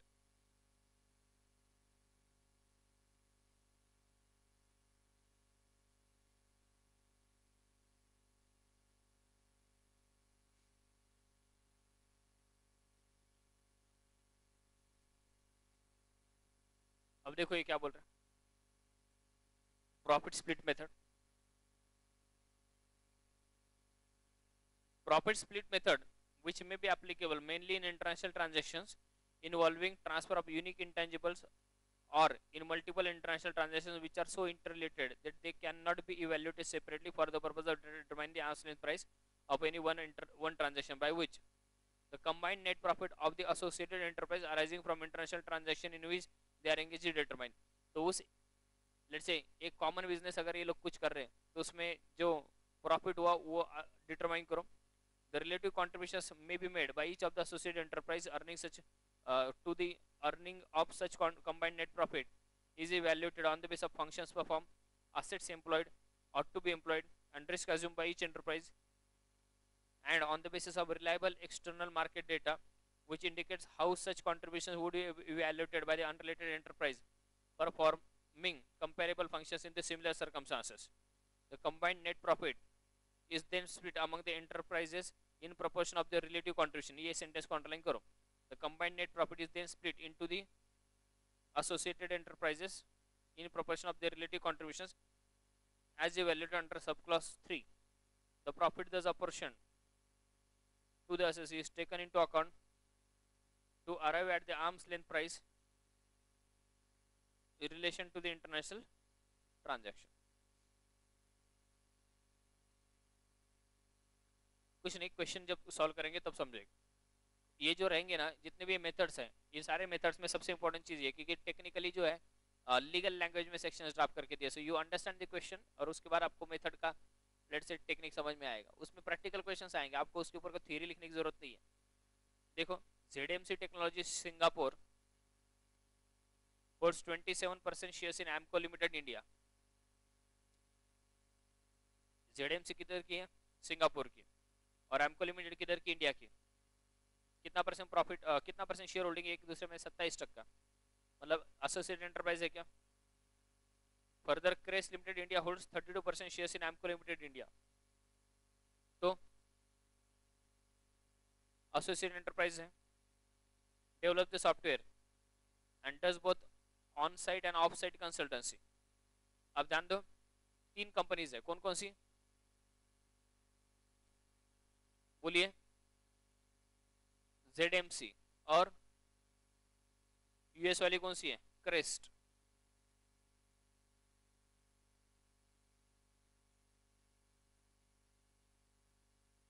Crest limited ये USA की है। ये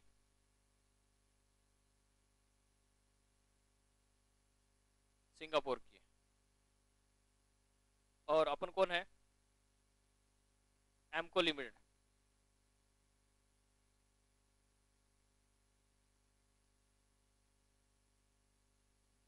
अभी क्या बोल रहे Cress Limited India Cress Limited USA received an order from the Trime Trime Limited USA for developing the software products अब ध्यान दो। ये क्रेस लिमिटेड जो है यूएसए वाली, इसको एक ऑर्डर मिला। उसकी यूएसए की ही एक क्लाइंट्स है कि सॉफ्टवेयर डेवलप करो।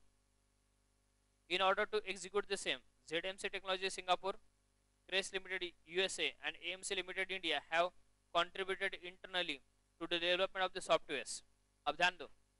ये क्रेस लिमिटेड को ऑर्डर मिला सॉफ्टवेयर बनाने का। क्रेस लिमिटेड बोला कि एमको लिमिटेड जेडएमसी और क्रेस अपन तीनों मिला के क्या करते हैं? वो ऑर्डर एग्जीक्यूट करते सॉफ्टवेयर बना के देते सामने वाले को। तो तीनों लोग काम करने वाले उसके ऊपर। Finally delivers the product through Trime limited and receives consideration of पचास हज़ार डॉलर कितना कंसिडरेशन मिला? कस्टमर से।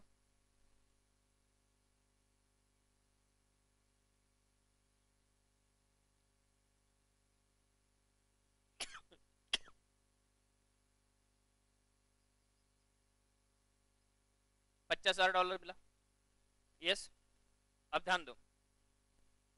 Crace limited USA in turn pays to ZMC technology Singapore. ये क्रेस लिमिटेड ने क्या किया? जेडएमसी लिमिटेड सिंगापुर को and Amco limited India Crace limited USA in turn pays to ZMC limited Singapore Amco limited India इनका total cost एक minute sentence में कुछ।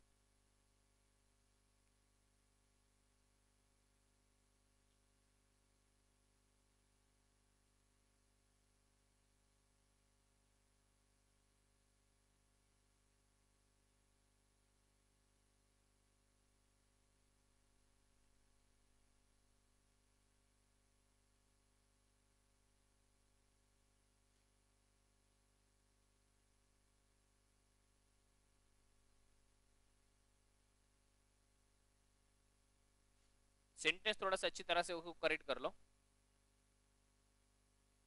ये ठीक है, पचास सारे डॉलर्स मिले। Crace limited USA in turn pays to ZMC technology Singapore and Amco limited India ये इनका टोटल कॉस्ट ऑफ़ है ना? वो ऑफ़ तक कट करो। इनका टोटल कॉस्ट ऑफ़ कौन से इसमें? थर्ड पैराग्राफ में। सेंटेंस कुछ इस तरह से Crace limited USA in turn pays to ZMC technology कितना जेडएमसी को कितना दिया? ये पचास हज़ार का डिस्ट्रीब्यूशन देखो, दस हज़ार डॉलर इसको दिए। बारह हज़ार डॉलर किसको दिए? यस इसको। मतलब दस और बारह हो गए मतलब कितना होगा बाईस। और ट्वेंटी एट थाउज़ेंड डॉलर किसने रखे? खुद ने रखे होगे ना? यस तो ये लोगों ने क्या दिया? देखो Crace limited USA in turn pays to ZMC technology दस हजार dollar and twelve thousand dollar ZMC technology and Emco limited ten thousand dollar and twelve thousand dollar respectively and keeps the balance with itself in the entire transaction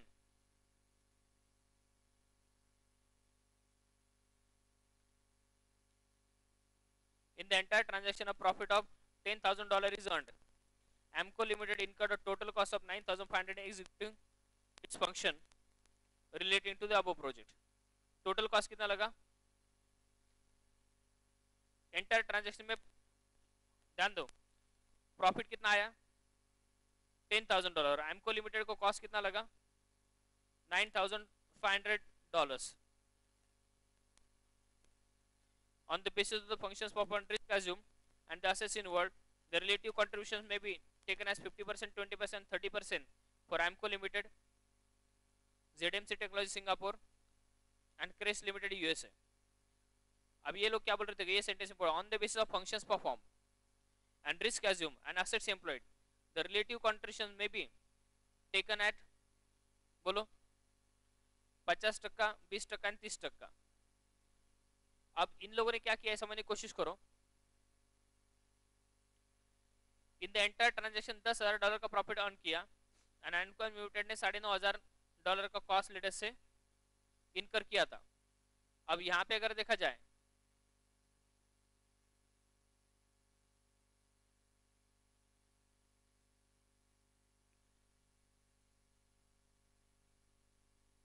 on the basis of the functions performed risk assumed and assets employed the relative contributions may be taken as 50% 20% 30% कैलसी है क्या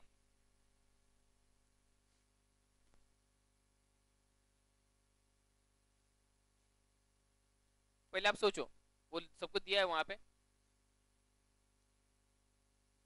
Total selling price of international transaction कितनी है?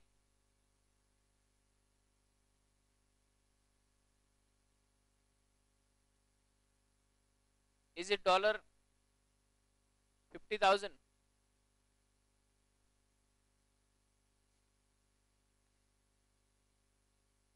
yes और आप मुझे बोलो in the entire transaction ten thousand dollar का profit is earned बराबर क्या? लेस टोटल कॉस्ट कितनी है?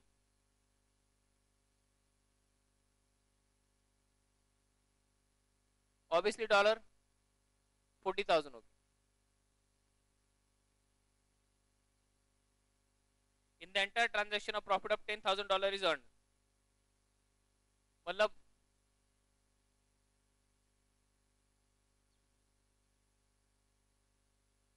प्रॉफिट टेन थाउज़ेंड डॉलर्स का। अब इन लोगों ने क्या बोला? कॉस्ट इनकर्ड अपन सिर्फ़ इंडियन कंपनी के बारे में देखेंगे। By Amco limited Amco limited ने कितना कॉस्ट इनकर किया? Nine thousand five hundred dollar अगर मैं बोलूँ अगर चालीस हज़ार डॉलर का अगर टोटल कॉस्ट है, जिसके ऊपर दस हज़ार डॉलर का प्रॉफिट आया तो profit to be transferred to Amco limited कितना होना चाहिए? दस हज़ार डॉलर का इन लोगों ने प्रॉफिट कमाया। टोटल कॉस्ट इनकी चालीस हज़ार डॉलर है। तो नौ हज़ार पाँच सौ डॉलर के ऊपर का प्रॉफिट कितना? बोलो दस हज़ार डॉलर इंटू नौ हज़ार पाँच सौ डॉलर डिवाइड बाई चालीस हज़ार dollar two three seven five dollars का प्रॉफिट किसको आना चाहिए था? एमको लिमिटेड को. ठीक है?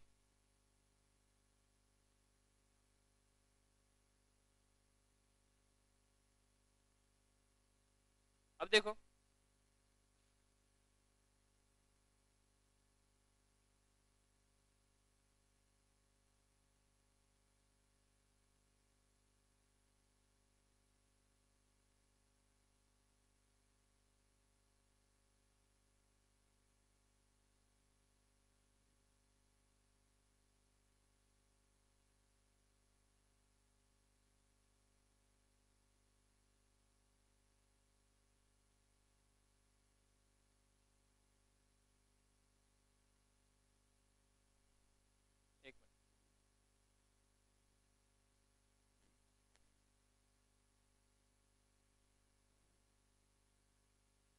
दस हज़ार डॉलर का क्या है?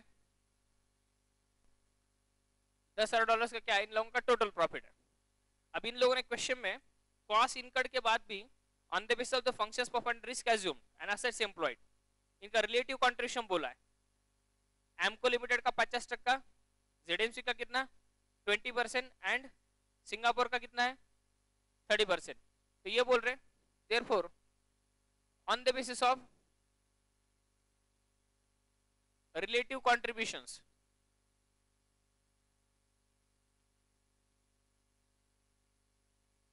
given profit to be distributed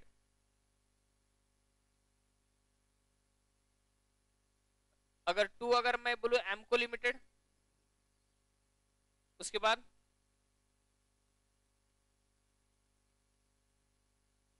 to ZMC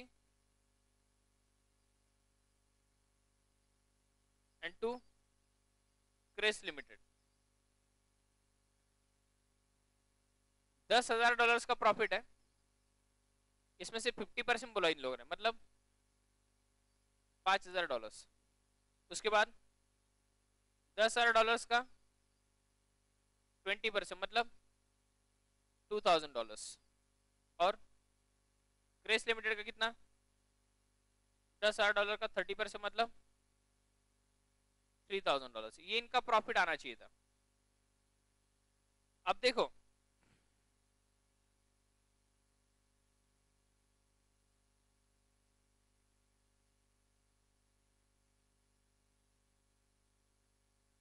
अब देखिए। एमको लिमिटेड एमको लिमिटेड को इतना रेवेन्यू दिया इन लोगों ने, बारह हज़ार डॉलर का। अब अगर मैं बोलू, बारह हज़ार डॉलर का रेवेन्यू दिया है, अब Amco limited cost Amco limited cost कितना है? नौ हज़ार डॉलर का कॉस्ट इनकर किया नहीं इसने। नौ हज़ार पाँच सौ डॉलर का। अगर नौ हज़ार पाँच सौ डॉलर का कॉस्ट प्लस प्रॉफिट, पाँच हज़ार डॉलर, ऐसे मिला के, अगर दस हज़ार डॉलर का अगर मैं टोटल प्रॉफिट कमा रहा हूँ तो दस हज़ार डॉलर का जो प्रॉफिट है, वो प्रॉफिट इस तरह से स्प्लिट होना चाहिए। Profit is over and above the cost मतलब अगर नौ हज़ार पाँच सौ डॉलर का मेरा कॉस्ट है और पाँच हज़ार डॉलर का प्रॉफिट है तो चौदह हज़ार पाँच सौ डॉलर किसको मिलने चाहिए? Arms length revenue.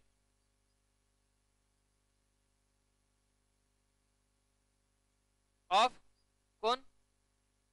एमको लिमिटेड इन एमको लिमिटेड को बारह हज़ार डॉलर दिया। लेस एक्चुअल रेवेन्यू ट्रांसफ़र कितना? बारह हज़ार डॉलर तो two thousand five hundred dollar क्या है? इंक्रीज इन प्रॉफिट तो स्टेप समझो पहले। ध्यान दो। इंटरनेशनल ट्रांजेक्शन जो हो रहा है, उस इंटरनेशनल ट्रांजेक्शन में जो टोटल प्रॉफिट है, वो पहले निकालो। तो टोटल प्रॉफिट जो है, वो टोटल प्रॉफिट डिस्ट्रीब्यूट किस रेशियो में करने का वो रेशियो दिया है।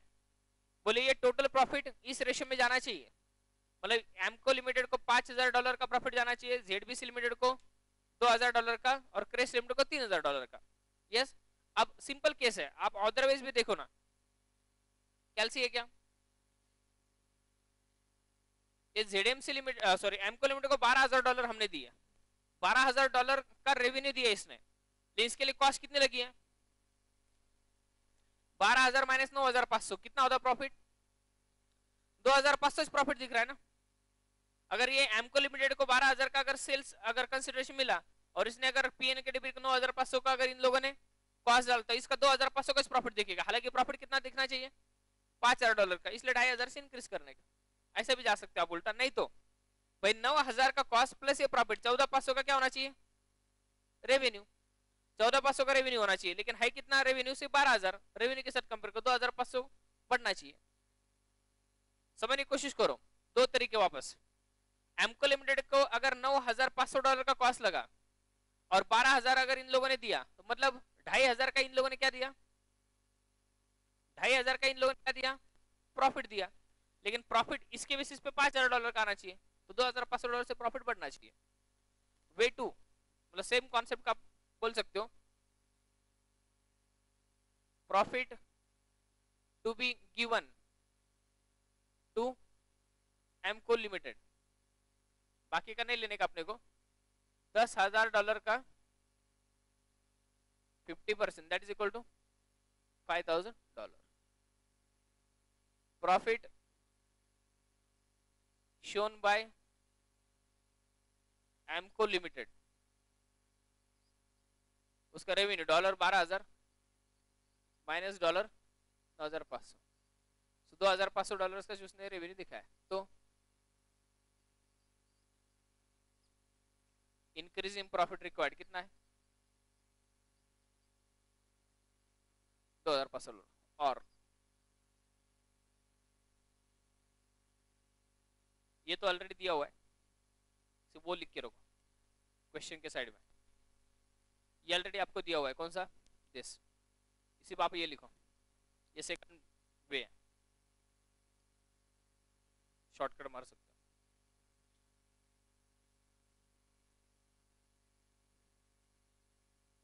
वो चाहिए मेरे को सिर्फ़।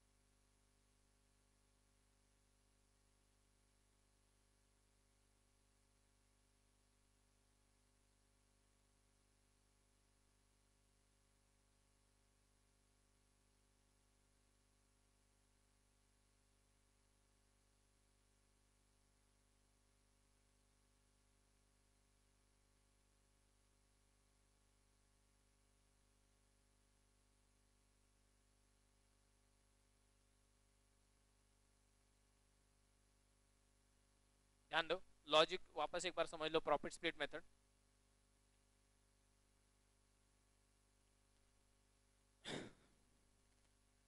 ये बोलते कि पहले इंटरनेशनल ट्रांजेक्शन में प्रॉफिट कितना हो निकालो।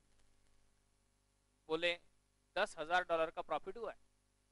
दस हज़ार डॉलर का प्रॉफिट हुआ है और उसमें जितना रिस्क एज्यूम किया, जिसने जितना पैसा लगाया, वो सारी सिर्फ़ कॉस्ट कितना इनकर किया वो नहीं है। उसमें मैनेजमेंट स्किल्स रिस्क वगैरह सारी चीज़ें तो पचास टक्का बोले कॉन्ट्रीब्यूशन किसका है? एमको लिमिटेड का मतलब पचास टक्का मतलब दस डॉलर का, पाँच हज़ार डॉलर का प्रॉफिट पाँच हज़ार डॉलर का प्रॉफिट किसको आना चाहिए? That is a profit profit है वो। Cost plus profit is equal to मेरा टोटल रेवेन्यू होना चाहिए। अगर मैं साढ़े नौ हज़ार डॉलर, अगर मेरा कॉस्ट है और पाँच हज़ार डॉलर अगर मेरा प्रॉफिट है मतलब साढ़े चौदह हज़ार डॉलर मेरे को मिलनी चाहिए ना? लेकिन लोगों ने बारह हज़ार डॉलर दिए ना मेरे को तो दो हज़ार पाँच सौ डॉलर कम दिए तो वो मेरा प्रॉफिट इंक्रीज होना चाहिए। हम लोग बारह हज़ार डॉलर में एग्री हो गए, बोले ठीक है। अरे लेकिन तेरा अगर कॉन्ट्रीब्यूशन अगर प्रॉफिट में पचास टक्का है तो नौ हज़ार पाँच सौ डॉलर प्लस पाँच हज़ार डॉलर चौदह हज़ार पाँच सौ डॉलर मिलना चाहिए रेवेन्यू तेरे को। But you have only twelve thousand dollar revenue यानी है ओके तो इसकी वजह से क्या है? दो हज़ार पाँच सौ डॉलर का रेवेन्यू तुम्हारा बढ़ना चाहिए। उल्टा भी अगर हम करें कि बारह हज़ार मिला और नौ हज़ार पाँच सौ का अगर आपका कॉस्ट है तो दो हज़ार पाँच सौ डॉलर का ही आपको प्रॉफिट मिला। अगर your eligible profit was five thousand dollar तो दो हज़ार पाँच सौ डॉलर से प्रॉफिट आपका बढ़ना चाहिए। चलेगा? That is profit split method next transactional net margin method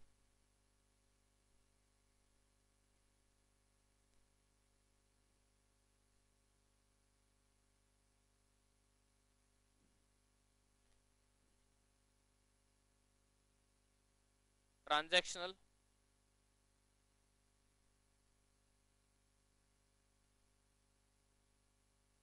Net margin method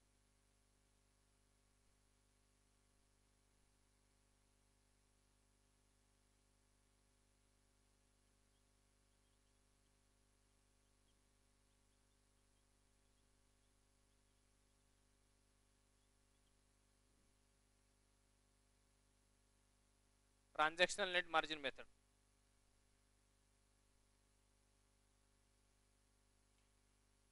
है क्या?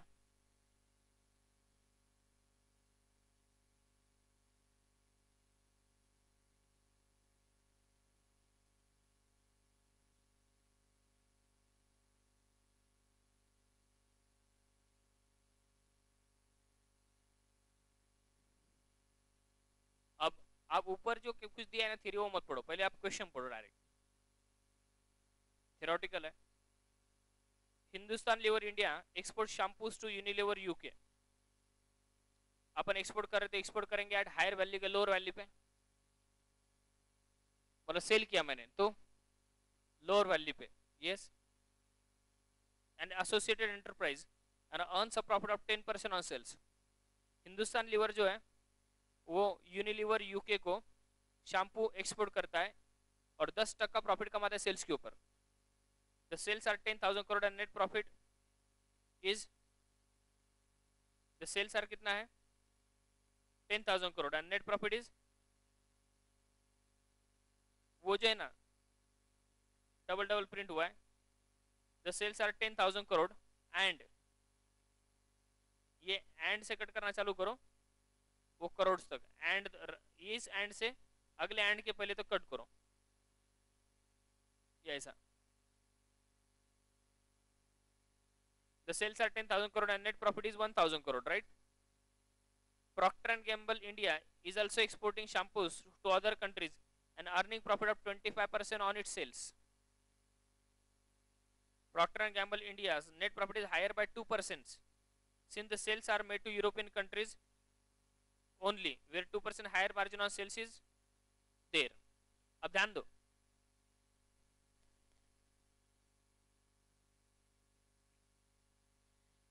हिंदुस्तान लिवर लिमिटेड ऐसा समझ लो ये Unilever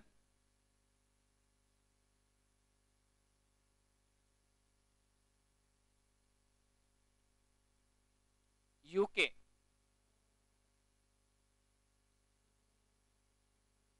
Hindustan Lever limited जो है वो यूनिलीवर यूके को क्या करती है गुड्स? एक्सपोर्ट करती है। और टेन थाउज़ेंड डॉलर का एक्सपोर्ट है। Profit is equal to ten percent अब similarly Procter and Gamble, Procter and Gamble, PG, is also exporting to European countries.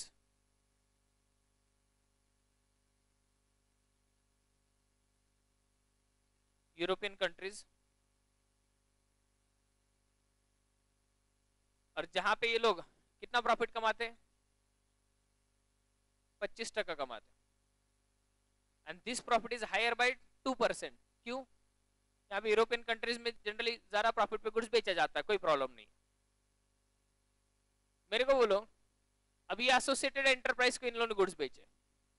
अगर प्रॉक्टर एंड गैम्बल इधर 25 टक्के प्रॉफिट बेचा जा बेच सकता है, और आप 10 टक्के प्रॉफिट बेचते हो। मतलब आप, आपका गुड्स कम प्रॉफिट बेच रहे हो। तो प्रॉक्टर एंड गैम्बल अगर 25 टका प्रॉफिट कमा रहे तुम भी 25 टका प्रॉफिट कमाना चाहिए। तो ठीक है भाई प्रॉक्टर एंड गैम्बल 25 टका कमाते उसमें दो टक्का ज़्यादा है, क्योंकि यूरोपियन कंट्रीज़ को सेल है। वो दो टक्का निकाल भी डाला, अगर प्रॉक्टर एंड गैम्बल इधर भी अगर ऐसे सेल करता तो प्रॉक्टर एंड कम से कम तेईस टक्के प्रॉफिट पे बेचता था। यहाँ पे पच्चीस टक्का है, लेकिन इधर दो टक्का ज़्यादा है। यूरोपियन कंट्रीज़ को चलता है। यहाँ पे अगर आप इन कंट्रीज़ को सेल करोगे लेट से यूके वाली तो दो टक्का इधर जा रहा है इधर दो टक्का कम भी चलेगा लेकिन कम से कम तेईस टक्का प्रॉफिट होना चाहिए था। अब इन लोगों ने क्या बोला? तेईस टक्का प्रॉफिट होना चाहिए था। लेकिन इन लोगों ने कितना प्रॉफिट अर्न किया? Ten percent. तो profit arm's length price uh, profit you can say arm's length profit कितना होना चाहिए था? टेन थाउज़ेंड डॉलर का, पच्चीस टक्का माइनस टू परसेंट मतलब तेईस टक्का के हिसाब से। Two thousand three hundred dollar what should it be it shall be the arm's length profit और एक्चुअल प्रॉफिट कितना है?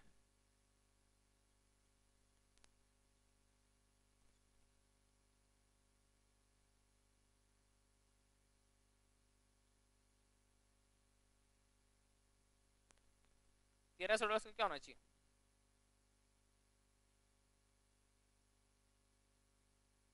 दस टक्के प्रॉफिट भी बेचा ना। तो profit to be increases dollars नहीं हो तेरह सौ करोड़ से let's say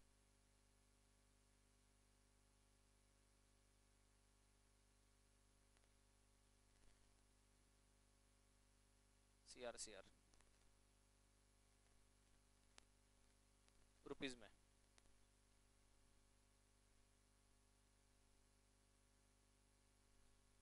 उधर दिया हुआ है, लेकिन आपको डायग्रामेटिक लिखना है तो लिख सकते हो।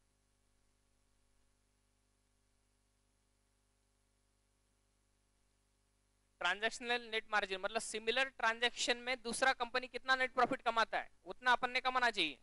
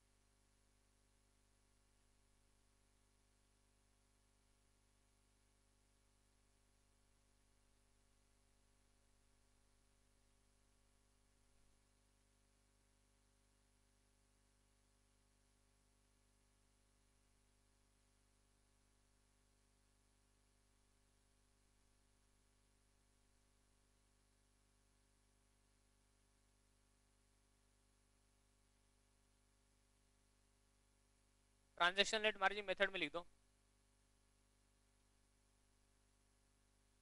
अभी ये क्वेश्चन के नीचे लिख दिया तो भी चलेगा।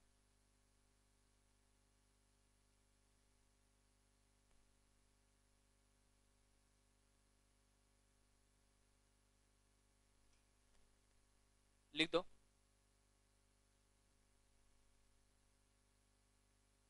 Associated enterprise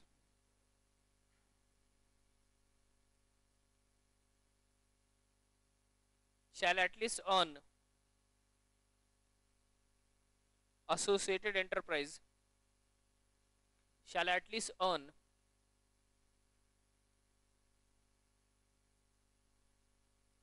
that much net profit percentage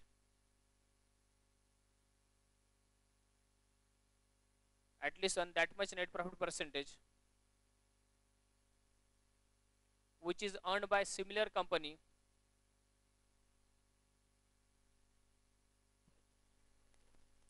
which is earned by? What? Similar company.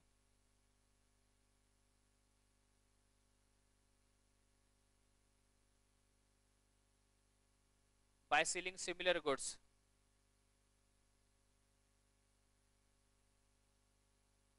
In an uncontrolled transaction. In an uncontrolled transaction.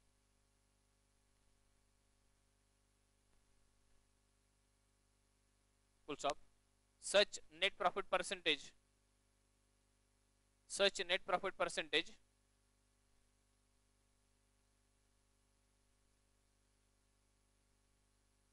shall be adjusted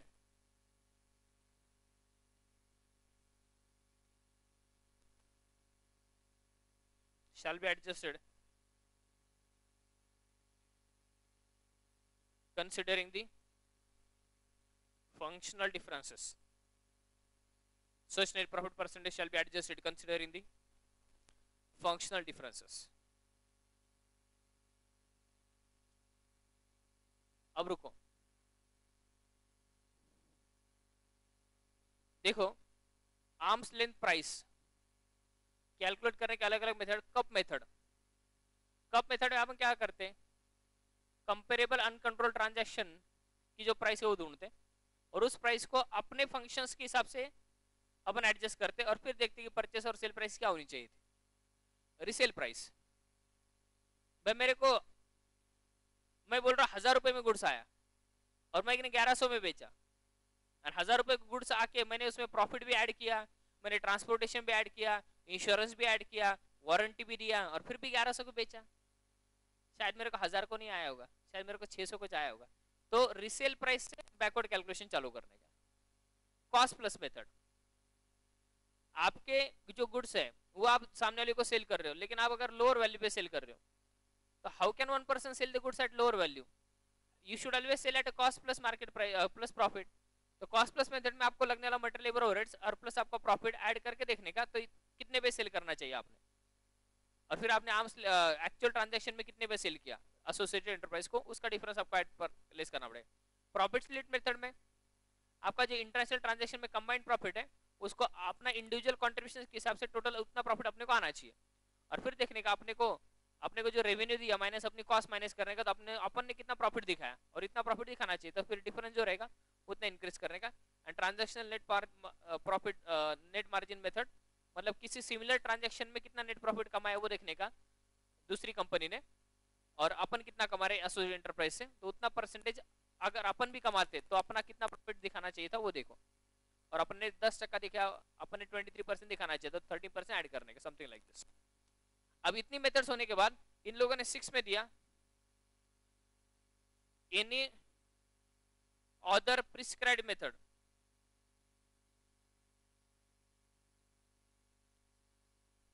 अब ये कोई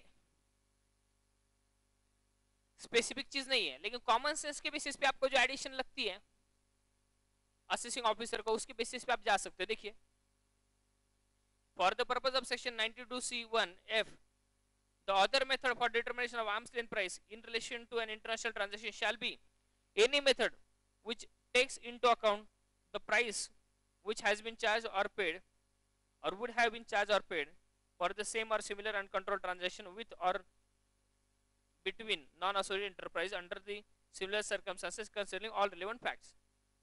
अब इन लोगों ने इस एनी अदर प्रिस्क्राइब मेथड में ऐसा नहीं दिया दिया। लेकिन ये बोल रहे कि सिमिलर ट्रांजैक्शन में वो ट्रांजैक्शन अनकंट्रोल्ड और अनएसोसिएटेड एंटरप्राइज के साथ जिस प्राइस पर रिलेटेड इंटर होता है तो वो एसोसिएटेड एंटरप्राइज के साथ हम वही ट्रांजेक्शन करते टाइम हम कम प्राइस पे क्यों कर रहे हैं? नहीं तो ज़्यादा प्राइस पे क्यों कर रहे हैं? अनकंट्रोल में नहीं करते, लेकिन कंट्रोल में ऐसा करते हैं। तो फिर अनकंट्रोल में जो करते हैं, उसी प्राइस पे उसको लेके आने का। तो ये अभी ये कोई मेथड ऐसा स्पेसिफिक नहीं, लेकिन कॉमन सेंस में आप एडजस्टमेंट देखो कितना हो सकता है। जैसे, देखो an associated enterprise X in India imports toys from Chinese associated enterprise for rupees 100 per toy अपन ने कितने पे इंपोर्ट किया? Yes hundred per toy Chinese से अपन ने हंड्रेड पे लिया। Company Y in India limited से import similar toys from another Chinese manufacture at sixty per toy दूसरा एक कंपनी है, जो साठ रुपए पर टॉय पे लेता है। और अपन लेते अपने एसोसिएटेड एंटरप्राइज पे कितने पे? सौ रुपए पर टॉय तो क्लियर कट है ना? चालीस रुपए पर टॉय क्या है? और वैल्यूएशन है परचेसेस का। तो the arm's length price in international transaction therefore shall be 60 per toy therefore rupees 40 पर टॉय दिस अलर्ट होना चाहिए तो 40 पर टॉय अपना प्रॉफिट में ऐड होना चाहिए। तो ये जो है ना इन अदर प्रिस्क्राइब्ड मेथड में आपको अनकंट्रोल्ड अनएसोसिएटेड एंटरप्राइज के बीच में जो ट्रांजेक्शन का जो प्राइस होगा और अपना जो प्राइस है, अपने प्राइस की जगह पे उसका प्राइस लेके जो भी एडिशन होना चाहिए प्रॉफिट में वो ऐड करो। इसमें कोई बेसिक है नहीं, लेकिन आपको ये पाँच मेथड इन लोगों ने स्पेसिकल दिए। CUP method resale price method cost plus method profit split method transactional net margin method ठीक है? इसके ऊपर नहीं आएगा। लेकिन कॉमन सेंस में कभी कभी ऐसा हो सकता है आपको मेथड नहीं देंगे, सिर्फ़ डायरेक्ट बोलेंगे कैलकुलेट कितना लेट से प्रॉफिट में ऐड करने का।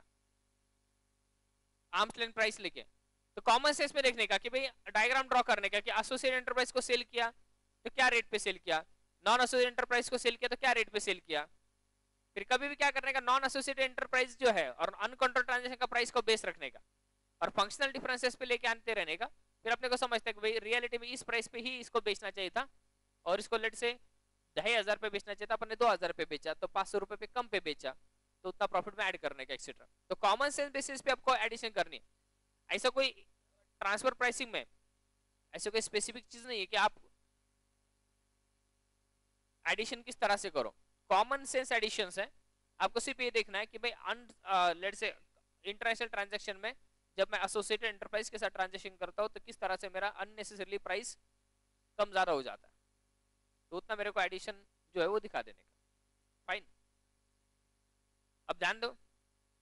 एक तो जो क्वेश्चन आएगा आपको what do mean by the term international transaction theoretical पहले शीट में दिया हुआ है।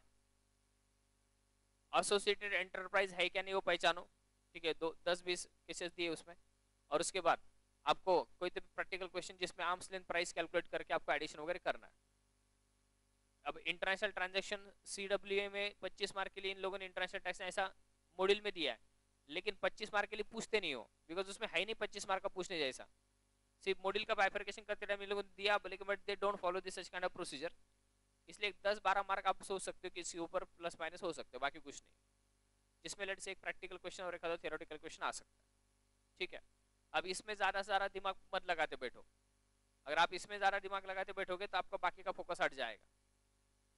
आपको ज़्यादा फोकस जो देना है अपना बेसिक इनकम टैक्स के ऊपर देना है status salary H P P G P capital other sources deduction setup clubbing इसके ऊपर। और ये जो है, ये इतने क्वेश्चन सॉल्व करो और इंटरनेशनल टैक्सेशन का अगर क्वेश्चन आए इसके बेसिस पे तो सॉल्व करके रख दो, नहीं तो अदरवाइज़ छोड़ दो उसको। लेकिन अपना बेसिक जो है फोकस है, वो हटने मत दो। नहीं तो बच्चे क्या करें इसको 25 मार्क का पूछने वाले, कुछ नहीं 25 मार्क का पूछते हो। 16 मार्क का तो ऑप्शनल पेपर रहता है 16 मार्क का जो ऑप्शनल पेपर रहता है। आप देखो तो प्लस माइनस वेरिएशन होते ही हुए लेकिन एक बारह मार्क का वेटेज आप पकड़ के चल सकते हो ओवरऑल ऑब्जेक्टिव क्वेश्चंस पूछेंगे कुछ, उसमें भी दो चार मार्क कवर करेंगे उसमें। ठीक है? कि एसोसिएट एंटरप्राइज या यही है क्या? नहीं तो छोटा सा क्वेश्चन पूछेंगे addition in the profit to be made नहीं तो बोलेंगे कि इस केस में ट्रांसफ़र प्राइसिंग प्रोविज़न एप्लीकेबल होंगे क्या? मतलब प्रॉफिट अगर डिक्रीज हो रहा है तो प्रॉफिट डिक्रीज करने के लिए ट्रांसफ़र प्राइसिंग प्रोविज़न एप्लीकेबल होंगे क्या एक्सेट्रा ऐसे ट्रू और फॉल्स पूछ सकते हो। चलेगा। तो इसका टेंशन लेने की ज़रूरत नहीं ज़्यादा। चलेगा? अब ये जो अभी इंटरनेशनल टैक्सेशन का जितना भी लेक्चर्स अगर आपको चाहिए अब वापस एक बार ऑफ़िस में बैठ के रिवाइज कर सकते हो और अदरवाइज़ हम लोग उसको यूट्यूब पे अपलोड भी करने वाले हैं। अब घर पे बैठ के भी कर सकते हो। चलेगा? एंजॉय इंटरनेशनल टैक्सेशन खत्म हुआ फाइनली गुड नाइट